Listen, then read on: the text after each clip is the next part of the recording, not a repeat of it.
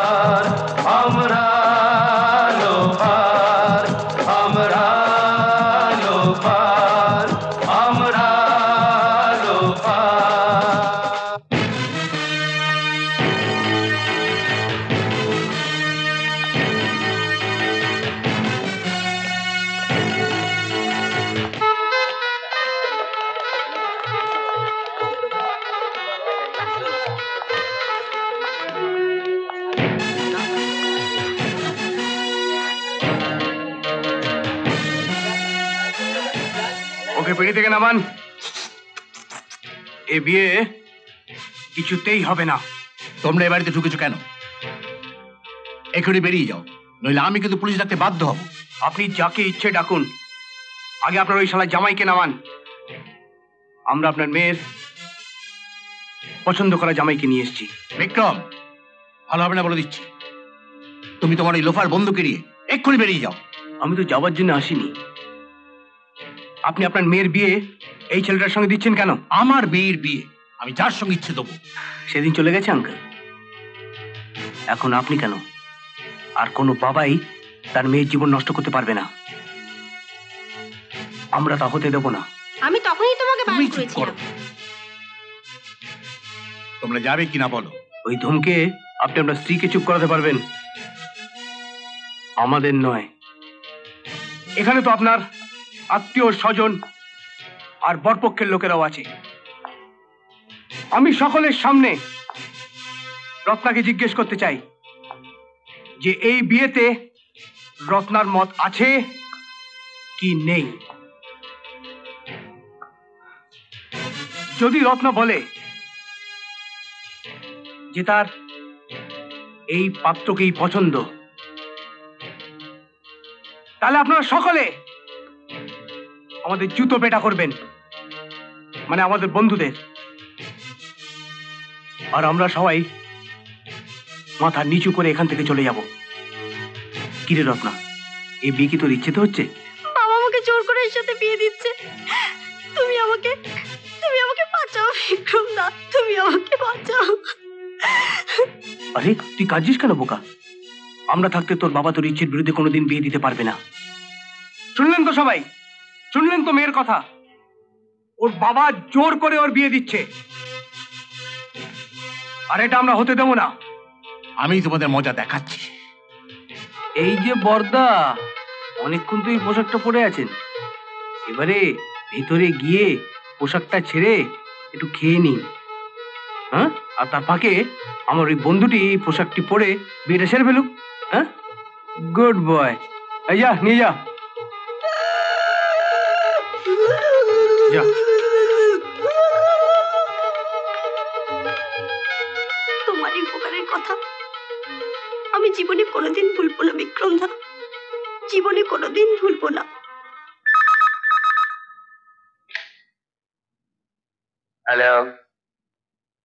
বলছি। আবার বিক্রম। ও হারামজাদা আমাদের একটু শান্তিতে থাকতে দেবে না দেখছি। প্লিজ প্লিজ একটু তাড়াতাড়ি করুন। নইলে লোফারটা ওর বন্ধুর সঙ্গে আমার মেয়ের বিয়ে দিয়ে দেবে। ও যখন গেছে তখন মেয়ের বিয়ে মেয়ের বাপের বিয়ে আমার বিয়ে না আমার না সবার বিয়ে দিয়ে ছাড়বে। আমার যাওয়া পর্যন্ত অপেক্ষা করবে কি?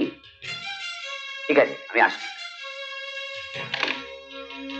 দেখি তোমরা এখানে কি করছ? আরে দরজা বন্ধ করছ কেন? আরে আরে দরজা বন্ধ করলে কেন ওম প্রজাপতি ঋষি গায়ত্রী ছন্দ ওম ইন্দ্রাদি নব ওম এতৎ স্বয়ং শোনো ভালো চাও তো দরজা খুলে দাও দরজা খুলবে তো নাকি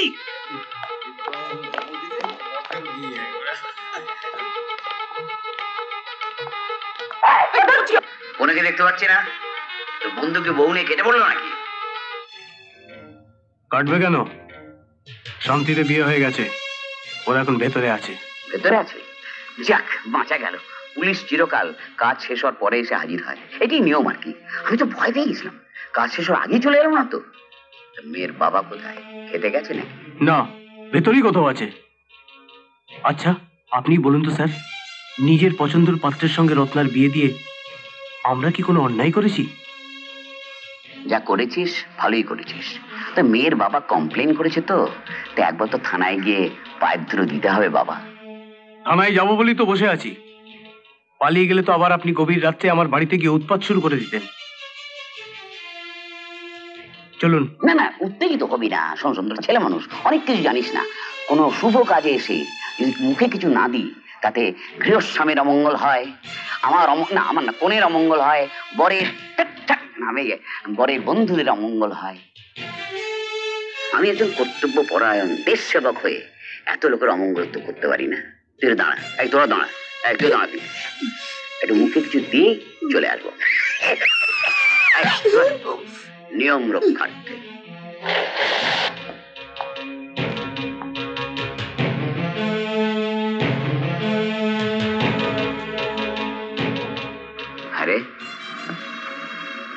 কি জানিস?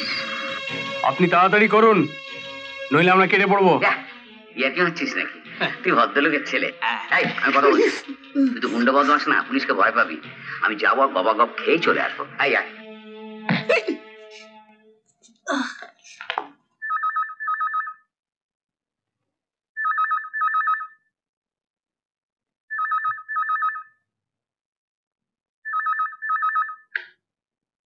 হ্যালো হ্যাঁ। হ্যাঁ কি রাজু? হ্যাঁ বলো। না বড়দা তো বাড়িতে নেই। বিয়ে বাড়ি গেছেন? কি? বিক্রমকে আবার পুলিশে ধরে নিয়ে গেছে? ছি ছি ছি ছি। ফোন? হ্যাঁ রাখছি। রাজু ফোন করেছিল। বিক্রমকে আবার পুলিশে ধরে নিয়ে গেছে। এইভাবে দিনের পর দিন চলতে থাকলে তোমার লোফার ভাইয়ের জন্য তো পাড়ায় আর মুখ দেখানো যাবে না। কি হয়েছে? কি হয়েছে মেসি? কি আবার হবে? তোমার আদরের ঠাকুরপুকে আবার পুলিশে ধরে নিয়ে গেছে। আসতে বলো মিসদি বাবার শরীর খারাপ। সবে ঘুমোতে গেছেন। না আসতে নয়। আজ এর একটা হেস্ত নেস্ত করেই ছাড়বো। তুমি কি বলো? হ্যাঁ। এবারে আমাদের একটা মান সম্মান আছে। ওই লোফারটার জন্য সব যেতে বসেছে। কি হয়েছে? কি হয়েছে রমেশদা এত চেঁচামেচি করছিস কেন? শোনো না শোনো। কি হয়েছে কি? ঠাকুরপুকে থানায় ধরে নিয়ে গেছে। বর্দা তো এখনও বাড়ি আসেনি। তুমি একবার থানায় যাও না। না বিপু তুই এবার থানায় যাবি না। বারবার ছাড়িয়ে এনে ওকে প্রশ্রয় দেওয়া হচ্ছে। এবার খাটুক কদিন জেল। কি হয়েছে? তোমরা তো চেঁচামেচি করছ কেন? আর কি হবে? দে আরও লাই দে। বিক্রমকে পুলিশ ধরে নিয়ে গেছে। মেজদা দয়া করে একটু আস্তে কথা বলুন। বাবা এমনিতেই অসুস্থ। এরা তোমার আমার কথা শুনবে না জয়া? বাবার কিছু হয়ে গেলে এদের কি এসে যায়? তুমি কি ভেবেছো? বাবা বেঁচে থাকলেই তোমার বিয়েটা হবে আর দাদারা তোমার বিয়েটা দেবেন না? আশ্চর্য! এর মধ্যে বিয়ের কথা আসছে কেন? আসছে এই কারণেই? যে তোমার অন্তত বোঝা উচিত যে তোমার বিয়েটা হচ্ছে না তার আসল কারণ টাকা নয়। কারণটা হচ্ছে তোমার ওই লোফার ভাইটির জন্যে। পাত্রপক্ষকে তোমরা কিছুতেই রাজি করাতে পারছি না। লোফারের দিদিকে কেউ বিয়ে করতে চায়? বাজে কথা বলো না বৌদি। আমার কেন বিয়ে হচ্ছে না সেটা বোঝার মতো বয়স আর বুদ্ধি দুটোই আমার হয়েছে। আমি দেখতে ভালো নই, কালো। তারপর আমার বাবার গাড়ি গাড়ি টাকা নেই। তাই আমার বিয়ে হচ্ছে না। এর জন্য বিক্রম দায়ী হতে যাবে কেন?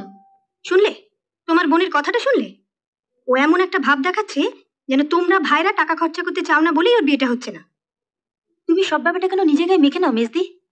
দিদি বলেছে। কিরে? তোরা সব এখানে দাঁড়িয়ে কেন? আর কেন? এইমাত্র ফোন এসেছে। বিক্রমকে আবার পুলিশ ধরে নিয়ে গেছে। আমরা তো আগেই খবরটা পেয়েছি। বাস থেকে নামতে চায়ের দোকানের একটা ছেলে এসে আমাদের খবরটা দিল। আজ কিন্তু তুমি ওকে ছাড়াতে যাবে না বর্দা। আমিও রিক্সায় আস্তে আস্তে সেই কথা বলেছি। এবার যদি ওই লোফারটাকে ছাড়াতে থানায় যায় না আমি কিন্তু তুমুল অশান্তি করব। এমন ভাব দেখাচ্ছ যেন এমনিতে তুমি খুব শান্ত থাকো। যাও গুরুকে নিয়ে ঘরে যাও যাও। তার মানে তুমি ওই লোফারটাকে ছাড়াতে আবার থানায় যাবে? হ্যাঁ। যাবে। ও আচ্ছা তুমি আবার এর মধ্যে এলে কেন? এলাম তার কারণ আর যার বিরুদ্ধে বাড়ির সবাইয়ের অভিযোগ সেই ছেলেটা আমার। আপনি ঘরে যান বাবা। হ্যাঁ যাচ্ছি।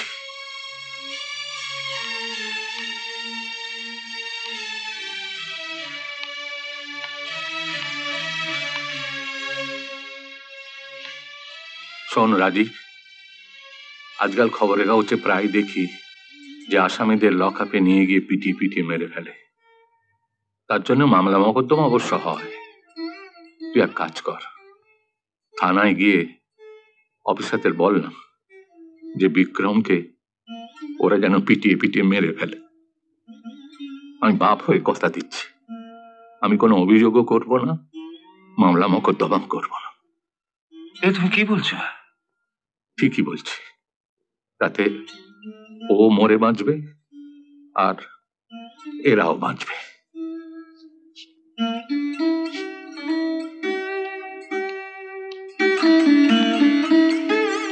যা যে যার ঘরে যা যা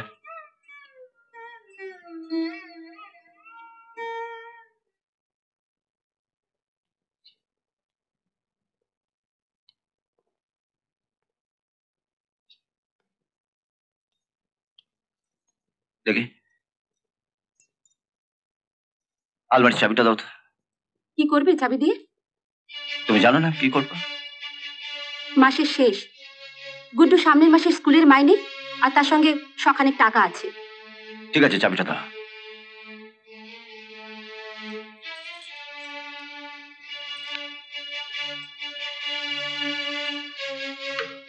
বারবার নিজের সংসারের টাকা দিয়ে ওকে থানা থেকে ছাড়িয়ে আনছো। ভাইটাকে শুধু তোমার একার? অন্য ভাইদেরও বলো কিছু কিছু করে টাকা দিতে।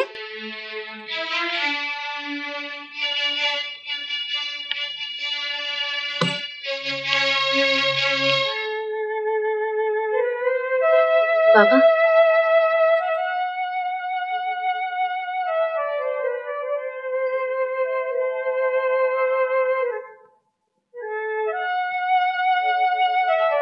বাবা আপনি ঘুমাবেন না? বিক্রমকে আজ পুলিশে কেন ধরেছে? তুমি জানো সেজ বৌমা। ওর এক বন্ধু ভাস্কর যে মেয়েটিকে ভালোবাসতো সে মেয়েটির বাবা মেয়েটিকে জোর করে অন্যের সঙ্গে বিয়ে দিয়ে দিচ্ছিল। তাই ঠাকুরপো গিয়ে বুঝেছি। আবার সেই বন্ধুর জন্য। হুম এই ঘরের খেয়ে বনের মোষ তাড়ানোর স্বভাবটা জোর কবে যাবে? বাবা আপনি শুয়ে পড়ুন আমি মাথায় হাত বুলিয়ে দিচ্ছি। তুমি যাও মা। বিক্রম ফিরে এলি আমি শুয়ে পড়ব। বাবা আপনার কাছে আমার একটা নালিশ ছিল। নালিশ? এখন যাও না বর্দি। নালিশটা জানাব কাল সকালে জানিও। না কাল সকালে নয়। বড় বৌমার যা নালিশ আছে তা এখনই বলুক। তোমার নালিশ নিশ্চয় বিক্রমের বিরুদ্ধে? না। ওর বিরুদ্ধে আর নালিশ করে কি করব? আপনি তো এখান দিয়ে শুনে ওখান দিয়ে বের করে দেবেন। নালিশটা আপনার বড় ছেলের বিরুদ্ধে। রাজীবের বিরুদ্ধে? ওর বিরুদ্ধে কারও নালিশ থাকতে পারে? বাবার মন মেজাজ ভালো নেই। তুমি এখন যাও বর্দি। আমি আমার স্বামীর বিরুদ্ধে নালিশ জানাচ্ছি। এতে তোমার এত গা চলছে কেন? ওকে বলতে দাও সেজ বৌমা। বলো তোমার কি নালিশ আছে বড় বৌমা। আগামী মাসে তিন তারিখে গুড্ডু স্কুলের মাইনে দিতে হবে। সেই জন্য আমি তিনশো টাকা আলাদা করে সরিয়ে আলমারিতে তুলে রেখেছিলাম। আর আপনার বড় ছেলে আমার কোনো কথায় কান না দিয়ে ওই টাকাগুলো নিয়ে থানায় গেছে বিক্রমকে ছাড়াতে। এখন আপনি বলুন তো বাবা আমি আমার ছেলে স্কুলের মাইনে দেবো থেকে ঠিক আছে তুমি যাও। আমি দেখছি। ওসব দেখছি ফেকছি নয় বাবা। আপনার ওই লোফার ছেলের জন্য যদি আমার ছেলে স্কুল যাওয়া বন্ধ হয় তাহলে কিন্তু আমি তুমুল অশান্তি করব। কি?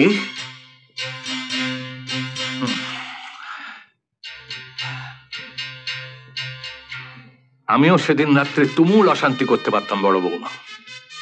যেদিন তোমার ওই ছেলের জন্য বিক্রমের নামটা প্রথম পুলিশের খাতায় উঠেছিল। মা হয়ে সে কথা তুমি ভুলে যেতে পারো, কিন্তু আমি এখনও ভুলিনি। সেদিন ওই দুর্যোগের রাতে, রাত তিনটের সময়, তোমার ছেলের জ্বর একশো পাঁচ ছাড়িয়ে গেল। বিক্রম ওই ঝড় বৃষ্টির মধ্যে ছুটতে ছুটতে গিয়ে হাতে পায়ে ধরে ডাক্তার নিয়ে এলো। ডাক্তার এসে বুড্ডুকে ভালো করে পরীক্ষা করে একটা ইঞ্জেকশনের নাম লিখে দিয়ে বলল এক ঘণ্টার মধ্যে ইঞ্জেকশনটা না দিতে পারলে? কিন্তু এই ঝড় জলের রাতে ইঞ্জেকশন কোথায় পাবো? দাও দাও আমাকে দাও আমি দিচ্ছি।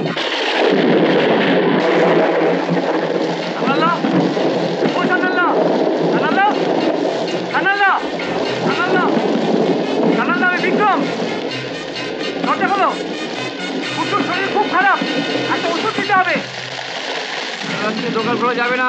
কাল সকালে এসো। কাল সকালে হবে না জানালা ডাক্তারবাবু বসে আছেন। এখনই ওষুধটা নিয়ে যেতে হবে। জানালা জানালা জানালা ওষুধটা না নিয়ে যেতে পারলে গুড্ডু বাঁচবে না। জানালা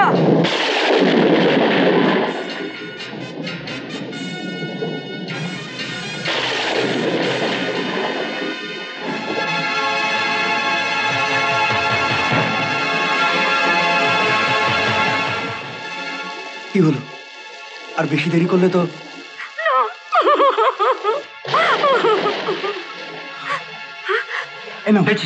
হ্যাঁ হ্যাঁ হ্যাঁ। নিন ডাক্তার ডাক্তার নিন। ও আমাদের তখনও বলেনি যে দোকানের দরজা ভেঙে দোকানদারকে মেরে গুড্ডুর জন্য ইঞ্জেকশনটা নিয়ে এসেছে। বুঝতে পারলাম পরের দিন ভোরে যখন পুলিশ এসে ডাকাতির দায়ে আমাদের সবাইয়ের চোখের সামনে দিয়ে বিক্রমকে ধরে নিয়ে গেল। কি বর্দি? দু বছর হলো বিয়ে হয়ে এসছি। এতদিন শুধু ঠাকুরপুর নামে অভিযোগে শুনিয়ে এসেছ। এই কথাটা কখনো বলনি আমাকে? আজকে ছেলের স্কুল বন্ধ হয়ে যাবে বলে ছুটে এসেছ। সেদিন বিক্রম না থাকলে তোমার ছেলের হৃৎপিণ্ডটা বন্ধ হয়ে যেত। বন্ধ হয়ে যেত চিরকালের মতো তোমার মা ডাক শোনা কিন্তু ছোট ঠাকুরপাকে তো সেদিন ওর বর্দাই এক কাড়ি টাকা খরচ করে ছাড়িয়ে এনেছিল। হ্যাঁ হ্যাঁ এনেছিল। কিন্তু ওর নামের পাশে পুলিশের খাতায় যে লোফার কথাটা লেখা হয়ে গিয়েছিল তা বুঝতে পেরেছিল কি? বলো পেরেছিল? তাই বলে ও এখন যা খুশি তাই করবে আর আমাদের তার মাসুল গুনতে হবে? না গুনতে হবে না। কাল তোমার তিনশো টাকা সকালে আমি তোমার কাছে পাঠিয়ে দেবো। আপনার হাতে এখন টাকা কোথায়? যে দেবেন? হাতে টাকা না থাকলেও হাতের ঘড়িটা তো আছে। এটা বিক্রি করে নিশ্চয়ই তিনশো টাকা পাবো। এতদিনকার পুরনো ঘড়িটা আপনি বেচে দেবেন বাবা? এতদিনের পুরনো এই মানুষটারই কোনো দাম নেই এই সংসারে। না বাবা ওটা বেচবেন না। এছাড়া আমার কোনো উপায় নেই সেজ বৌমা। আমি পেনশন থেকে দু হাজার টাকা যে মাসে মাসে পাই আমি সবটাই বড় বৌমার হাতে তুলে দিই।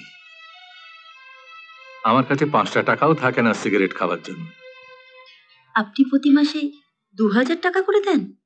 হ্যাঁ দি এই তো বড় বৌমা পাশে দাঁড়িয়ে আছে জিজ্ঞাসা করো না। আমি ব্যাংক থেকে যখন প্রতি মাসে টাকা নিয়ে আসি এসেই দেখি বড় বৌমা কোনো না কোনো অছিলা আমার ঘরে বসে আছে। আমার কাছ থেকে টাকাটা নেই চলে যায়। কি বর্দি? তুমি তো আমাদের বলো। সংসার খরচের জন্য বাবা দেড় হাজার টাকা করে তোমার হাতে দেয়? আমি যাচ্ছি। দাঁড়াও? যাও। ঘরে গিয়ে বসে সারা রাত ধরে হিসেব লিখে রাখো। এই বাড়তি পাঁচশো টাকা দিয়ে তুমি এতদিন কি করেছ? কাল সবার সামনে তোমাকে হিসেব দিতে হবে। পাই টু পাই হিসেব। ঠিক আছে। তাই দেবো। আচ্ছা ফাঁসাতে ফেলে দিলে তুমি বড় বৌমাকে।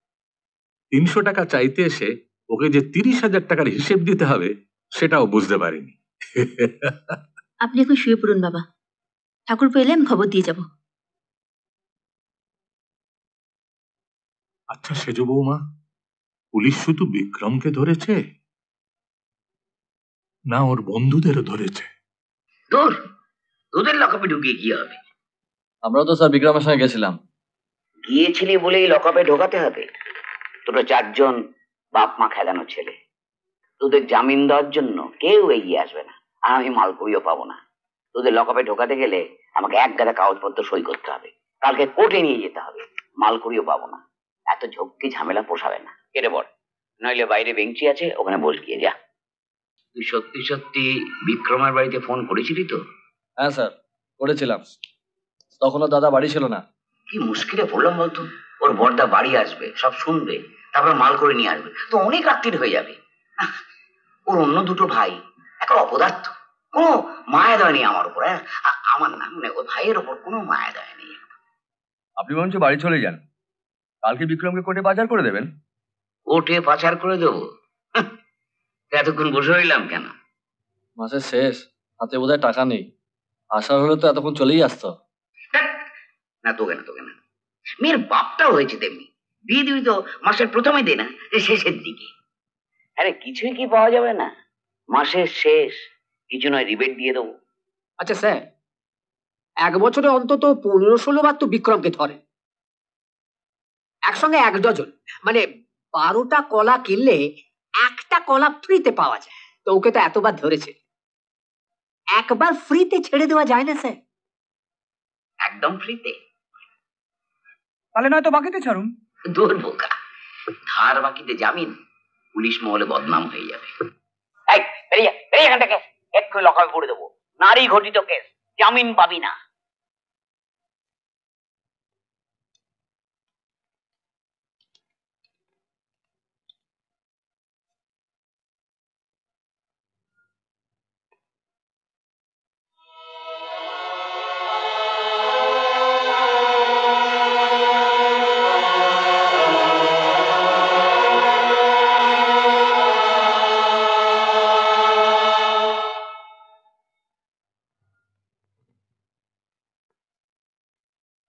এই পেপার রেডি করে রেখেছি। বলো। আমারটাও রেডি আছে তো?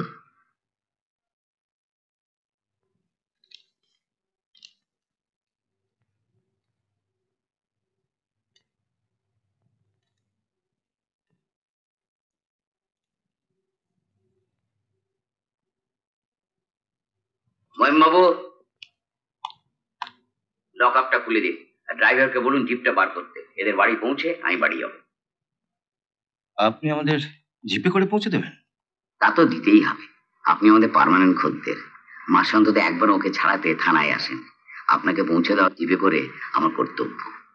ধন্যবাদ। আমরা রিক্সাতেই যাব।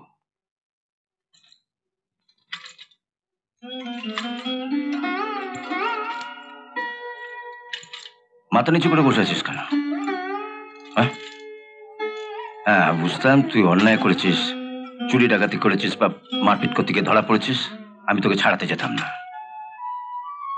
বন্ধু হয়ে বন্ধুর জন্য যা করেছিস কটা বন্ধু সাহস করে কাজ করতে পারে হ্যাঁ? একসঙ্গে তুই দুটো জীবন বাঁচিয়েছিস।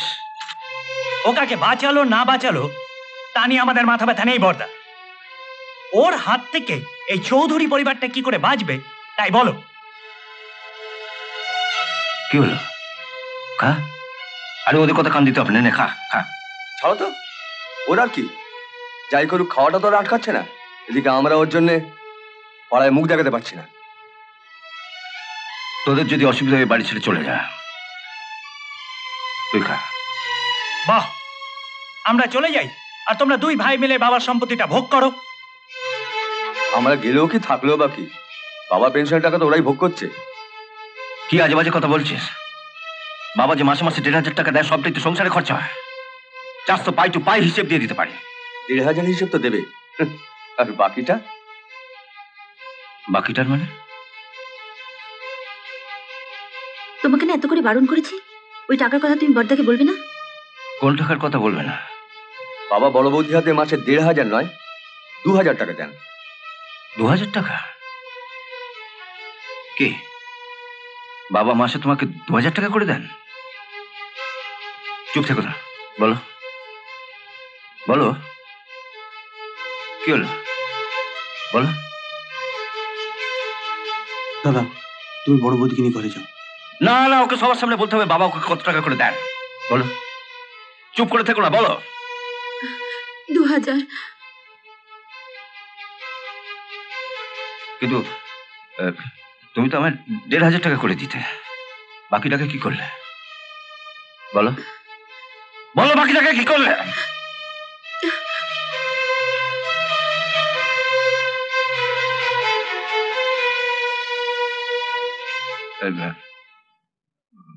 বাবা দু বছর ধরে পেনশন পাচ্ছেন ও যে টাকা বেশি নিচ্ছে সেটা কাল সকালে আমি তোদের দিয়ে দেবো।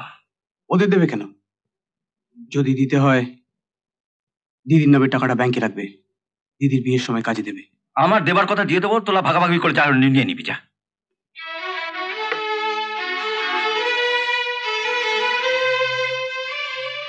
বাড়ির সবার সামনে আমাকে কেন চোর সাজালে বলো? মাঝে মাঝে তুমি বাপের বাড়ি থেকে ঘুরে এসে আমাকে এক একটা গয়না দেখিয়ে বলতে এটা তোমার বাবা দিয়েছে দাদা দিয়েছে। এখন বুঝতে পারছি আমার বাবার পেনশনের টাকা সরিয়ে তুমি গয়নাগুলো কিনেছো। তুমিও যে আমার সংসারের টাকা থেকে বারবার টাকা সরিয়ে তোমার ওই লোফার ভাইটাকে থানা থেকে ছাড়িয়ে এনেছো? এটা আমার কর্তব্য। তোমার কর্তব্য আছে আর কারও কর্তব্য নেই? ভবিষ্যতের জন্য আমার আর গুড্ডুর নামে ওই পঞ্চাশ হাজার টাকা ফিক্সড ডিপোজিট করা ছাড়া তুমি আর কি রেখেছো বলো তো? আপদ বিপদ হলে কি দেখবে আমাদের? তাই ওই গয়নাগুলো বানিয়ে রেখেছি। নাও এখন ওই গয়নার টাকাগুলো বার করো। বাবাকে দিয়ে আসে। মিনুর বিয়েতে কাজে লাগবে। তোমার ওই বোনের বিয়ে হবে ভেবেছো? তা তুমি কি ভেবেছো? সারা জীবন ওই বাড়ি দাসী হয়ে থাকবে? দিদি? অনেক রাত হলো শুবি না আজ আমার জন্য সকলের খাবার দেরি হয়ে গেল। তাই তোকে এতক্ষণ ধরে বাসন মাজতে হচ্ছে তাই না?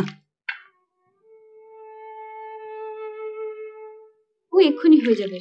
আমি তোকে একটু সাহায্য করব? তোমাকে সাহায্য করতে হবে না। আমি দিদির সঙ্গে হাত মিলিয়ে করে নিচ্ছি। তুমি বাবার সঙ্গে দেখা করেছ? না কাল সকালে দেখা করব। কাল সকালে নয় এখনই যাও। তুমি না যাওয়া পর্যন্ত বাবা ঘুমোতে যাবেন না।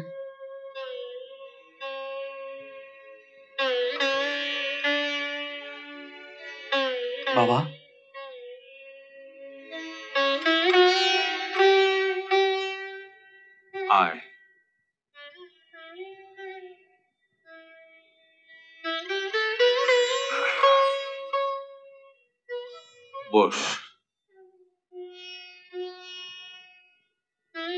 মাকে বলছিলাম, আমাকে এই অশান্তি সংসারে ফেলে রেখে তুমি বেশ পালিয়ে গেলে।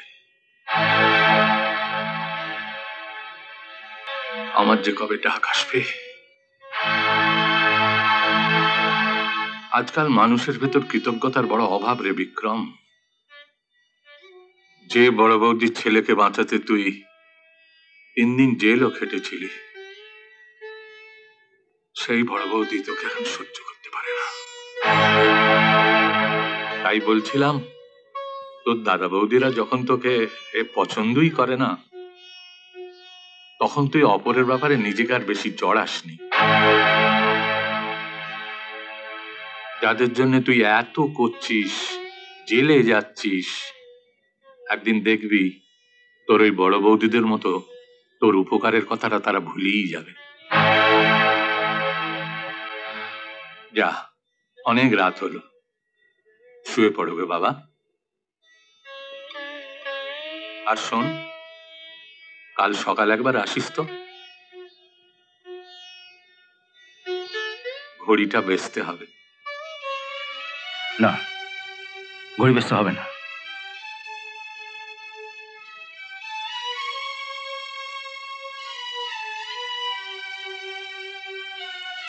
গত দু বছর ধরে তুমি পেনশন পাচ্ছ। সে পেনশনের টাকা থেকে প্রতি মাসে পাঁচশো টাকা করে কেটে দীপ্তি এই গয়নাগুলো কিনেছে। এগুলো সব।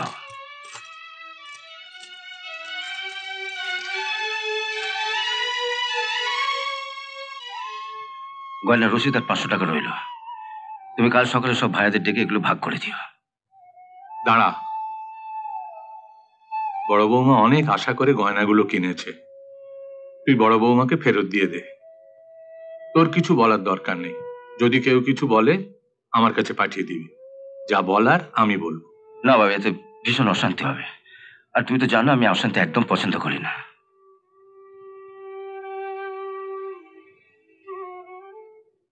লোকেরা বলে বিয়ের পর বউয়েরা নাকি ছেলেদের খারাপ করে দেয়। কই? তোর বর্দাকে তোর বৌদি খারাপ করতে পেরেছে? পারেনি। আসলে কি জানিস? ছেলেরা যদি ভেড়া হয় বইয়েরা তার উপর জোর খাটায়।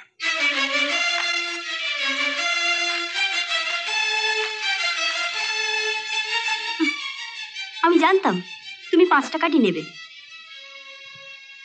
তোমাকে বলেছি না বিক্রমদাকে নেমন্তন্ন করবে? না না তুমি বুঝতে পারছ না রত্না যে বিক্রমকে নেমন্তন্ন না করলে খুব খারাপ দেখাবে। কিচ্ছু খারাপ দেখাবে না। বাবা সকালবেলা ফোন করে বারবার বলে দিয়েছে। ওই লোফারটা কাল এলে বাবা আর আসবে না। তুমি কি চাও? আমার বৌভাতে বাবা না আসুক? তুমি ভুলে যাচ্ছ রত্না। ওই লোফারটা না থাকলে আজ তোমার আমার বিয়েই হতো না। তুমি আমাকে কিছুতেই বোঝাতে পারবে না। আমাদের আত্মীয় স্বজনের সামনে বিক্রমদাকে পুলিশে ধরে নিয়ে গেছে। বৌভাতে ওর সঙ্গে তোমাকে সবাই দেখলে মনে করবে বিক্রমদার মতো তুমি একটা লোফার। আচ্ছা আচ্ছা তাতে কি আমাদের সম্মান থাকবে? রত্না তুমি কেন বুঝতে চাইছো না? আমি আর কোনো কথা বুঝতে চাই না। আমি তোমাকে সাফ সাফ বলে দিচ্ছি। বাবাকে তুমি অপমান করবার জন্য যদি লোফারটাকে নেমন্তন্ন করো তাহলে বৌভাতে রাত্রে কিন্তু আমি বাড়ি ছেড়ে চলে যাব। আজকাল সকালে আজ আমাদের বাড়িতে কার্ড দিয়ে এলো? তোকে দিয়ে আসিনি। আরে তোরা কষ্ট পাই বলে বলিনি। এনে ধর। ভাস্কর তো তোদের একলা নেমন্তন্ন করতে গেছে। আর আমাকে নেমন্তন্ন করতে রত্নাকে সঙ্গে নিয়ে আসছে। বুঝলি? যা বাবা এটা দুঃখ পাওয়ার কি আছে? কি রে? তা তুই তো ওদের বিয়ে দিতে গিয়ে পুলিশের হাতে ধরা পড়লি? লকআপে ঢুকলি। তা তোমাকে তো একটু স্পেশাল খাতির করবেই চাদু।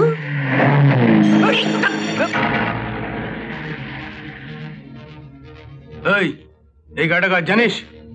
ওই উকিল পাড়াটা নতুন বাড়ি হয়েছে। ওই বাড়ির গাড়ি এটা। ওর মেয়েটা চালায়। কাউকে কেয়ার করে না।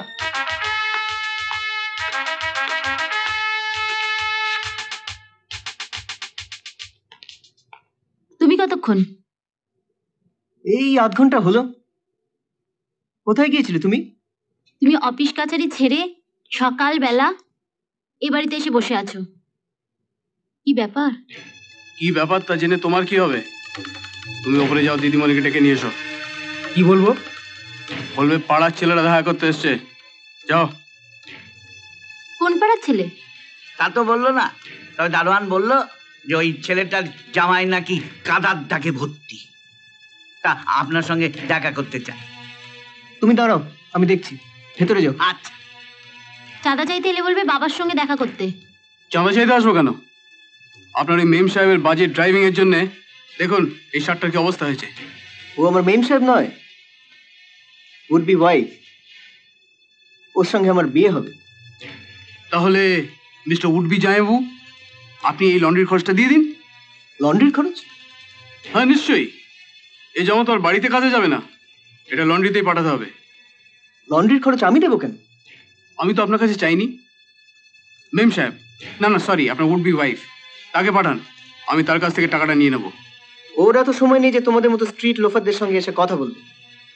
গাড়ি কাদা ছিটিয়েছে এর জন্য ওনাদের টাকা দিতে হবে। এটা কি মামুর বাড়ির আবদার? জগা দে এদের এখান থেকে তারি তাহলে টাকা দেবেন না? না। হট। এই গাড়িটা আমার ক্ষতি করেছে। তাই আমি এই গাড়িটার ক্ষতি করে দিয়ে গেলাম। আপনি গাড়িটা সারিয়ে নেবেন। আমি শার্টটা কাচিয়ে নেব। তুমিও বা হুট করে ওদের স্ট্রিট লোপার বলতে গেলে কেন? পঞ্চাশ টাকা দিয়ে দিলে যেখানে ঝামেলা মিটে যেত। আমি ওদের ছাড়বো না। আমি থানায় গিয়ে বড়বাবুকে ডেকে এনে গাড়িটা ওদের দেখিয়ে দেবো। আমি দেখেছি। দেখেছেন? হ্যাঁ।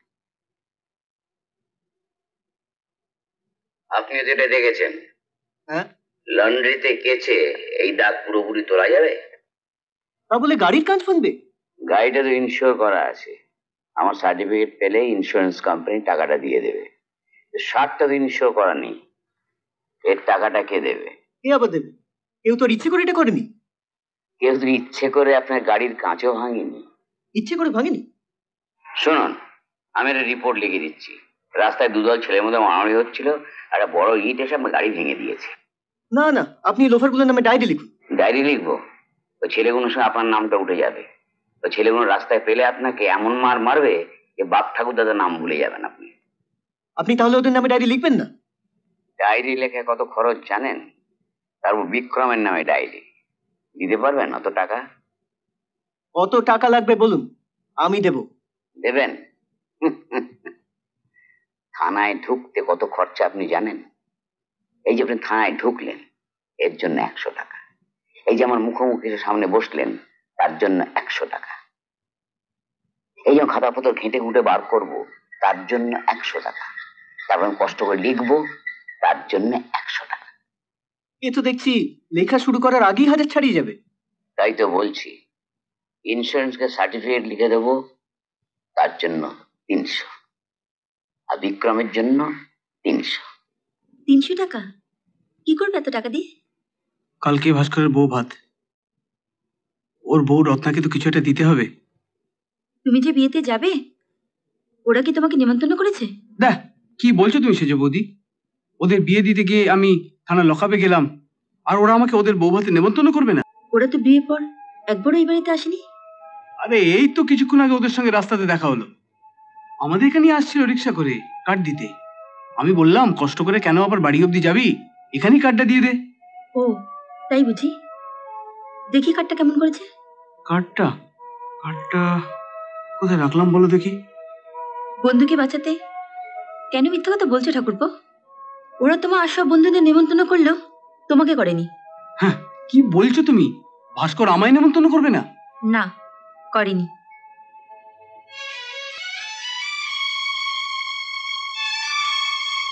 ভাস্করের বউকে তুমি কি দিতে চাও? ভেবেছিলাম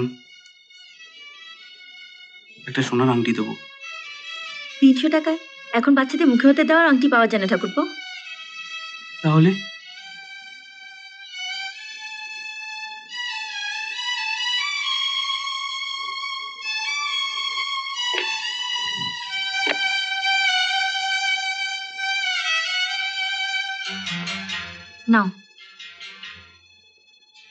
এই আংটিটা ওকে দিও। এটা? গত সপ্তাহে আমার বিবাহ শিখ ছিল। তোমার শেষদাটি আমাকে দিয়েছে। একেবারে নতুন আংটি। এখনও আঙ্গুলে পড়িনি। দেখো আংটিটা খুব সুন্দর না? না না সেজ বৌদি। তুমি এটা রেখে দাও। শেষদা জানতে পারলে খুব রাগ করবে। তোমার শেষদা জানবে কি করে? ও তো আর দেখতে আসছে না। কিন্তু? কোনো কিন্তু নয়। এটা তুমি ধরো। এটা দিয়ে সবার সামনে ভাস্করের বউয়ের মুখটা একেবারে ঝামা দিয়ে ঘষে দাও। আয় আয় আয় আয়। আরে বাবা কি দারুণ লাগছে তোকে। কাউকে খুঁজছো দীপকদা?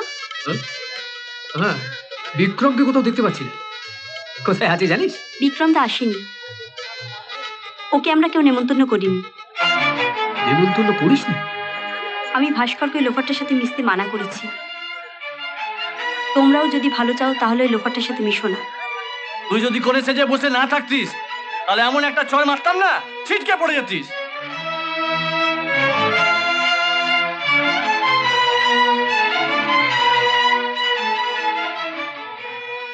এই তোরা কি এখন খেতে বসবি? তোর বিয়েতে খাওয়া। কিরে সবে সন্ধে হলো এত তাড়াতাড়ি চলে এলি?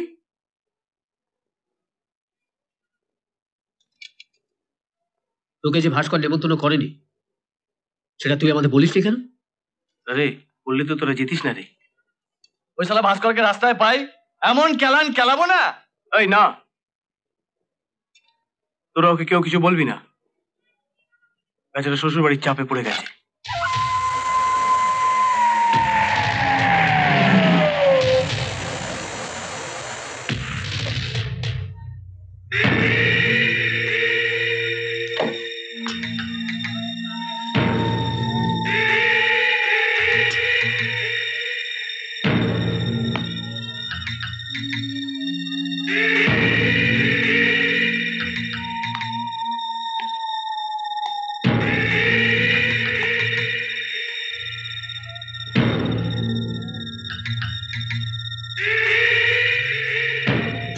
লাথি মেরে নাকি? ওদের গাড়ির কাঁচটাকে তুই ভেঙে দিয়েছিস? তুই জানিস এক লাথি মেরে এখন আমি তোর এই কোবড়াটা ভেঙে দিতে পারি। নাও একবার চেষ্টা করে দেখো তো। সবাই দেখুক আমার মুখ ভাঙে না তোমার পা ভাঙে।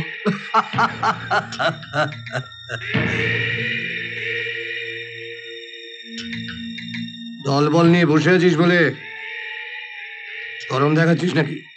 এই রাজু দীপক আমার দিব্যি রইল।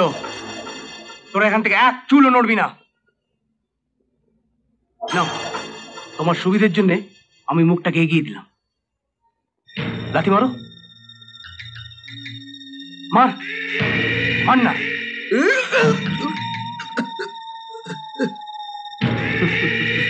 হবে না ওই তোরা কেউ আসবি না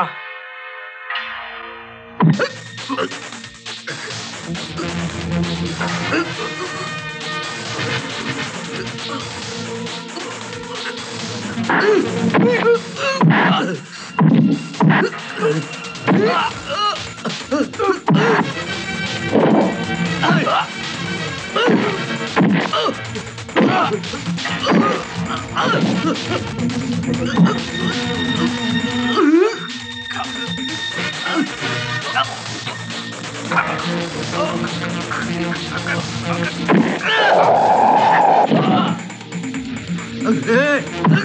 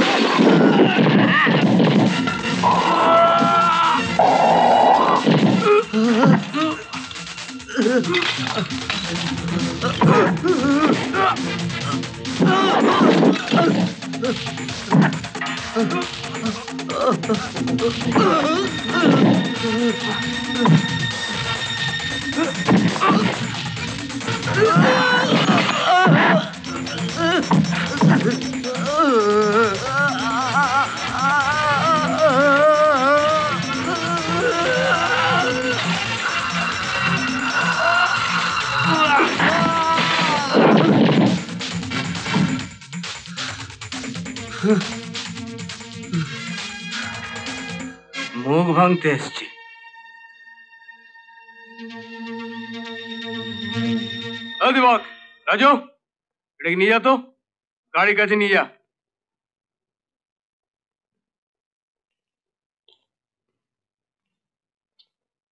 তোমার উড বি হাজবেন্ড মানে আমাদের জামাইবাবু, আমার লোফার টোফার বলে হঠাৎ মাথাটা গরম করে দিয়েছিল।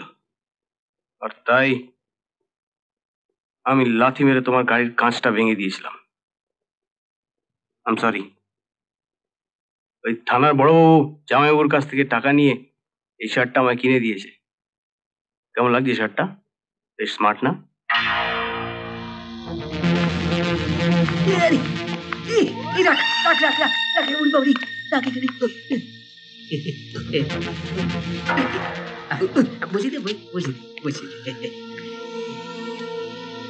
বিক্রম এর বদলা আমি নেব। বলে দিলাম অনেক হয়েছে এবার গাড়িতে ওঠো। চলো। যা। আস্তে আস্তে আ, এত মারলি কেন আ, আস্তে ওঠো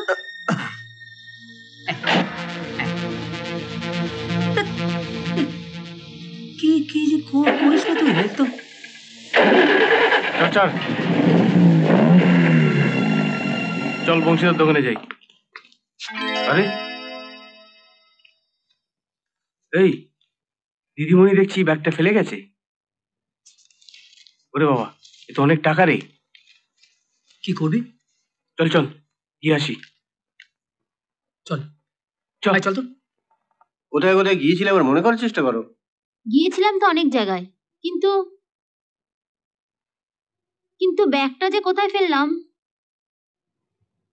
বলছো তো হাজার পাঁচেক টাকা ছিল ব্যাগে। কেউ পেলে কি আর ফেরত দেবে? দিদিমণি দিদিমণি যে ছেলেটা আপনার গাড়ির কাজ ভেঙেছিল না সেই ছেলেটা আপনার সঙ্গে দেখা করতে এসেছে। হ্যাঁ? হ্যাঁ। ওই লোফারটা আবার এখানে কি চায়? বলে দাও দেখা হবে না। দেখি না কি বলতে এসছে। যাও গিয়ে ডেকে নিয়ে এসো। ঠিক আছে। এই তোমার বড় বাজে স্বভাব। নন্দদাকে বাড়িতে ঢোকাবে না বলে মাঝপথে গাড়ি থেকে নামিয়ে দিলে। অথচ একটা লোফার কেনে বাড়িতে ঢোকাচ্ছে। তোমার নন্দদার থেকে অনেক ভালো। যে তোর গাড়ির কাঁচ ভেঙে দিল। ওভাবে কাজ ভাঙাটাও ক্ষমতার দরকার বাবা। আরও নন্দদাকে ও যেভাবে পিটলো আমি তো হা হয়ে গিয়েছিলাম।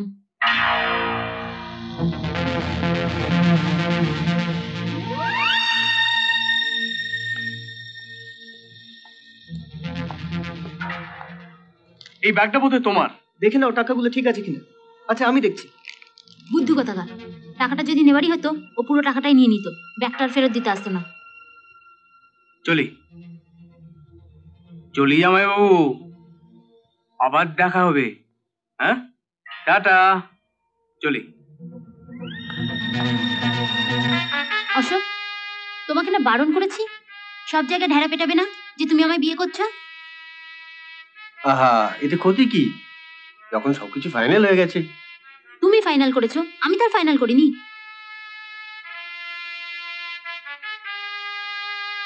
এখন আমার ঘরে আসবে না খাবার টেবিলে দেখা হবে। তোমাকে রোজ বলছি তুমি দাদাদের সঙ্গে খেয়ে নেবে। তবু তুমি সবার শেষে আমাদের সঙ্গে খেতে বসো। কেন বলো তো? দাদা বৌদিদের সঙ্গে খেতে বসতে আমার খুব লজ্জা করে গো। সংসারে তো একটা টাকাও দিতে পারি না। দিতে পারো না তো কি হয়েছে? বাবা তো তোমার হয়ে টাকা দেন। ও আগে দাদা বৌদিদের সাথে খেতে বসতো। একটা ছুটির দিনে আমি মাংস রেঁধেছিলাম। আর ও খেতে খেতে বলেছিল মাংস দারুণ বানিয়েছিস দিদি। দে দু হাতা ভাত আর মাংস ঝোল দে। খেতে বসে এমন ভাত দিয়ে ভাত দিয়ে করে চেঁচিও না তো ঠাকুরপো? চালের দাম কত করে জানো? দিবার বেলায় তো সংসারে একটি ফুটো পয়সাও দাও না। আর গেলবার বেলায় রাক্ষসের মতো নাখাড়ি করে ভাত গেল।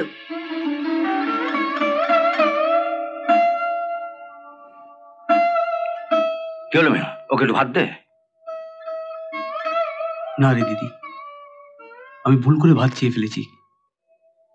আমাকে আর ভাত দিতে হবে না।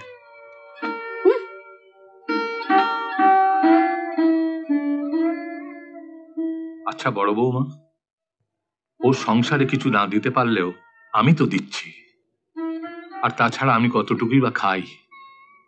ও দুটি ভাত চাইলো আর তুমি?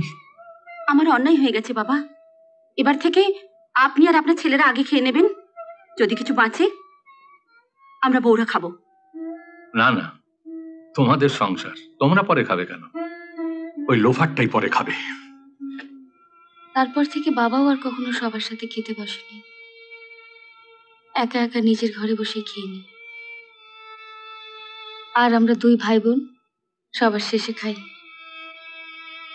তুমি এবারে বউ হয়ে আসার পর তবু আমাদের জন্য কিছু কিছু খাবার তুলে রাখো। তুমি আসার আগে তো শুধু জুটতো। ডাল ভাত। আবার কখনো বা? তুই চুপ কর না দিদি। চুপ করেই তো থাকে।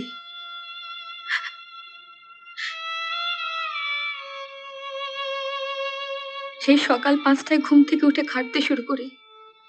এর ফরমাস ওর ফরমাস কখনো প্রতিবাদ করতে শুনেছিস কোনোদিনও? এক একদিন ইচ্ছে করে বাড়ি ছেড়ে পালিয়ে যাই। শুধু ওর আর বাবার কথা ভেবে যেতে পারি না। তুই দেখিস দিদি চাকরিটা জোগাড় করে আমি একদিন তোর বিয়েটা দেব। আমার কথা ভাবতে হবে না। তুই তোর নিজের কথা ভাব।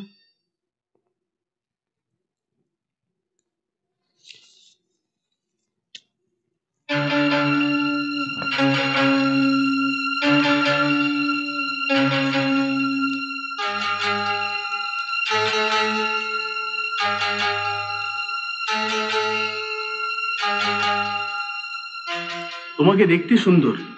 দারুণ স্মার্ট ওরকম একটা ক্যাবলাকান্তকে বর হিসেবে বেছে নিলে কেন? একটা স্মার্ট ছেলেও কি কপালে জুটলো না? নিদেন পক্ষে আমার মতো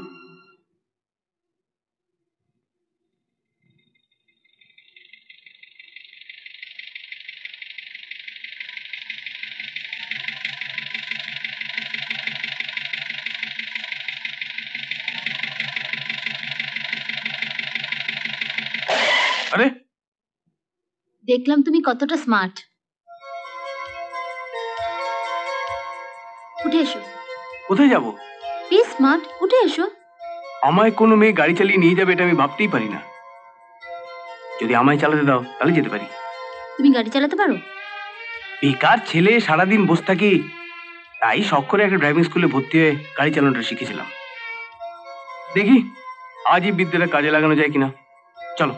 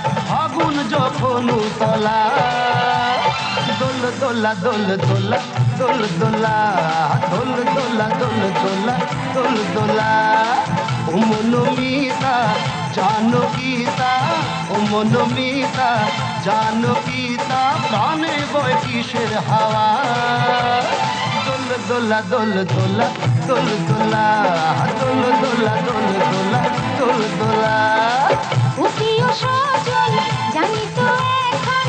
ও প্রিয় সজন জানি তো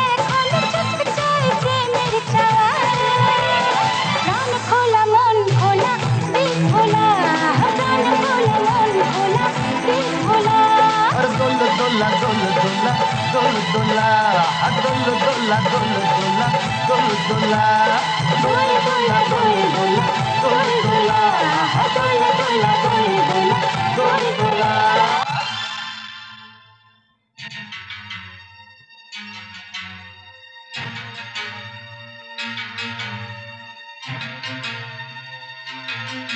ঠাকুরপো তোমার সঙ্গে ঝগড়া করতে এলাম ভাই। কেন? আমি আবার কি করলাম? তোমার পর্দার সঙ্গে কথা বলতে বলতে হঠাৎ মনে পড়ল গত সপ্তাহে তো তোমাদের বিবাহ বার্ষিকী গেছে। আমার ছোট্ট বোনটাকে বিয়ের তারিখে তুমি কিছু দাওনি কেন? কে বলল দিইনি? দিয়েছি তো। কি দিয়েছ শুনি? তেমন কিছু নয় একটা আংটি। সত্যি আংটি দিয়েছ? এই তো তোমার সামনে দাঁড়িয়ে আছে। সত্যি কি মিথ্যে জিজ্ঞেস করো না। কে রে? জয়া? আংটিটার কথা আমি বলিসনি তো? বলিনি মানে ঠিক আছে। আংটিটা একবার আমায় দেখাতো দেখি তোকে ভালো মেয়ে পেয়ে। সোনার নাম করে রোল গোল্ডের আংটি দিয়ে তোকে ভোলালো কিনা? এখন আবার আলমারি খুলবো? কাল সকালে এসো না বর্দি, তখন দেখাবো। আবার সকালে কেন? দেখতে চাইছি যখন দেখাও না, কতক্ষণ লাগবে?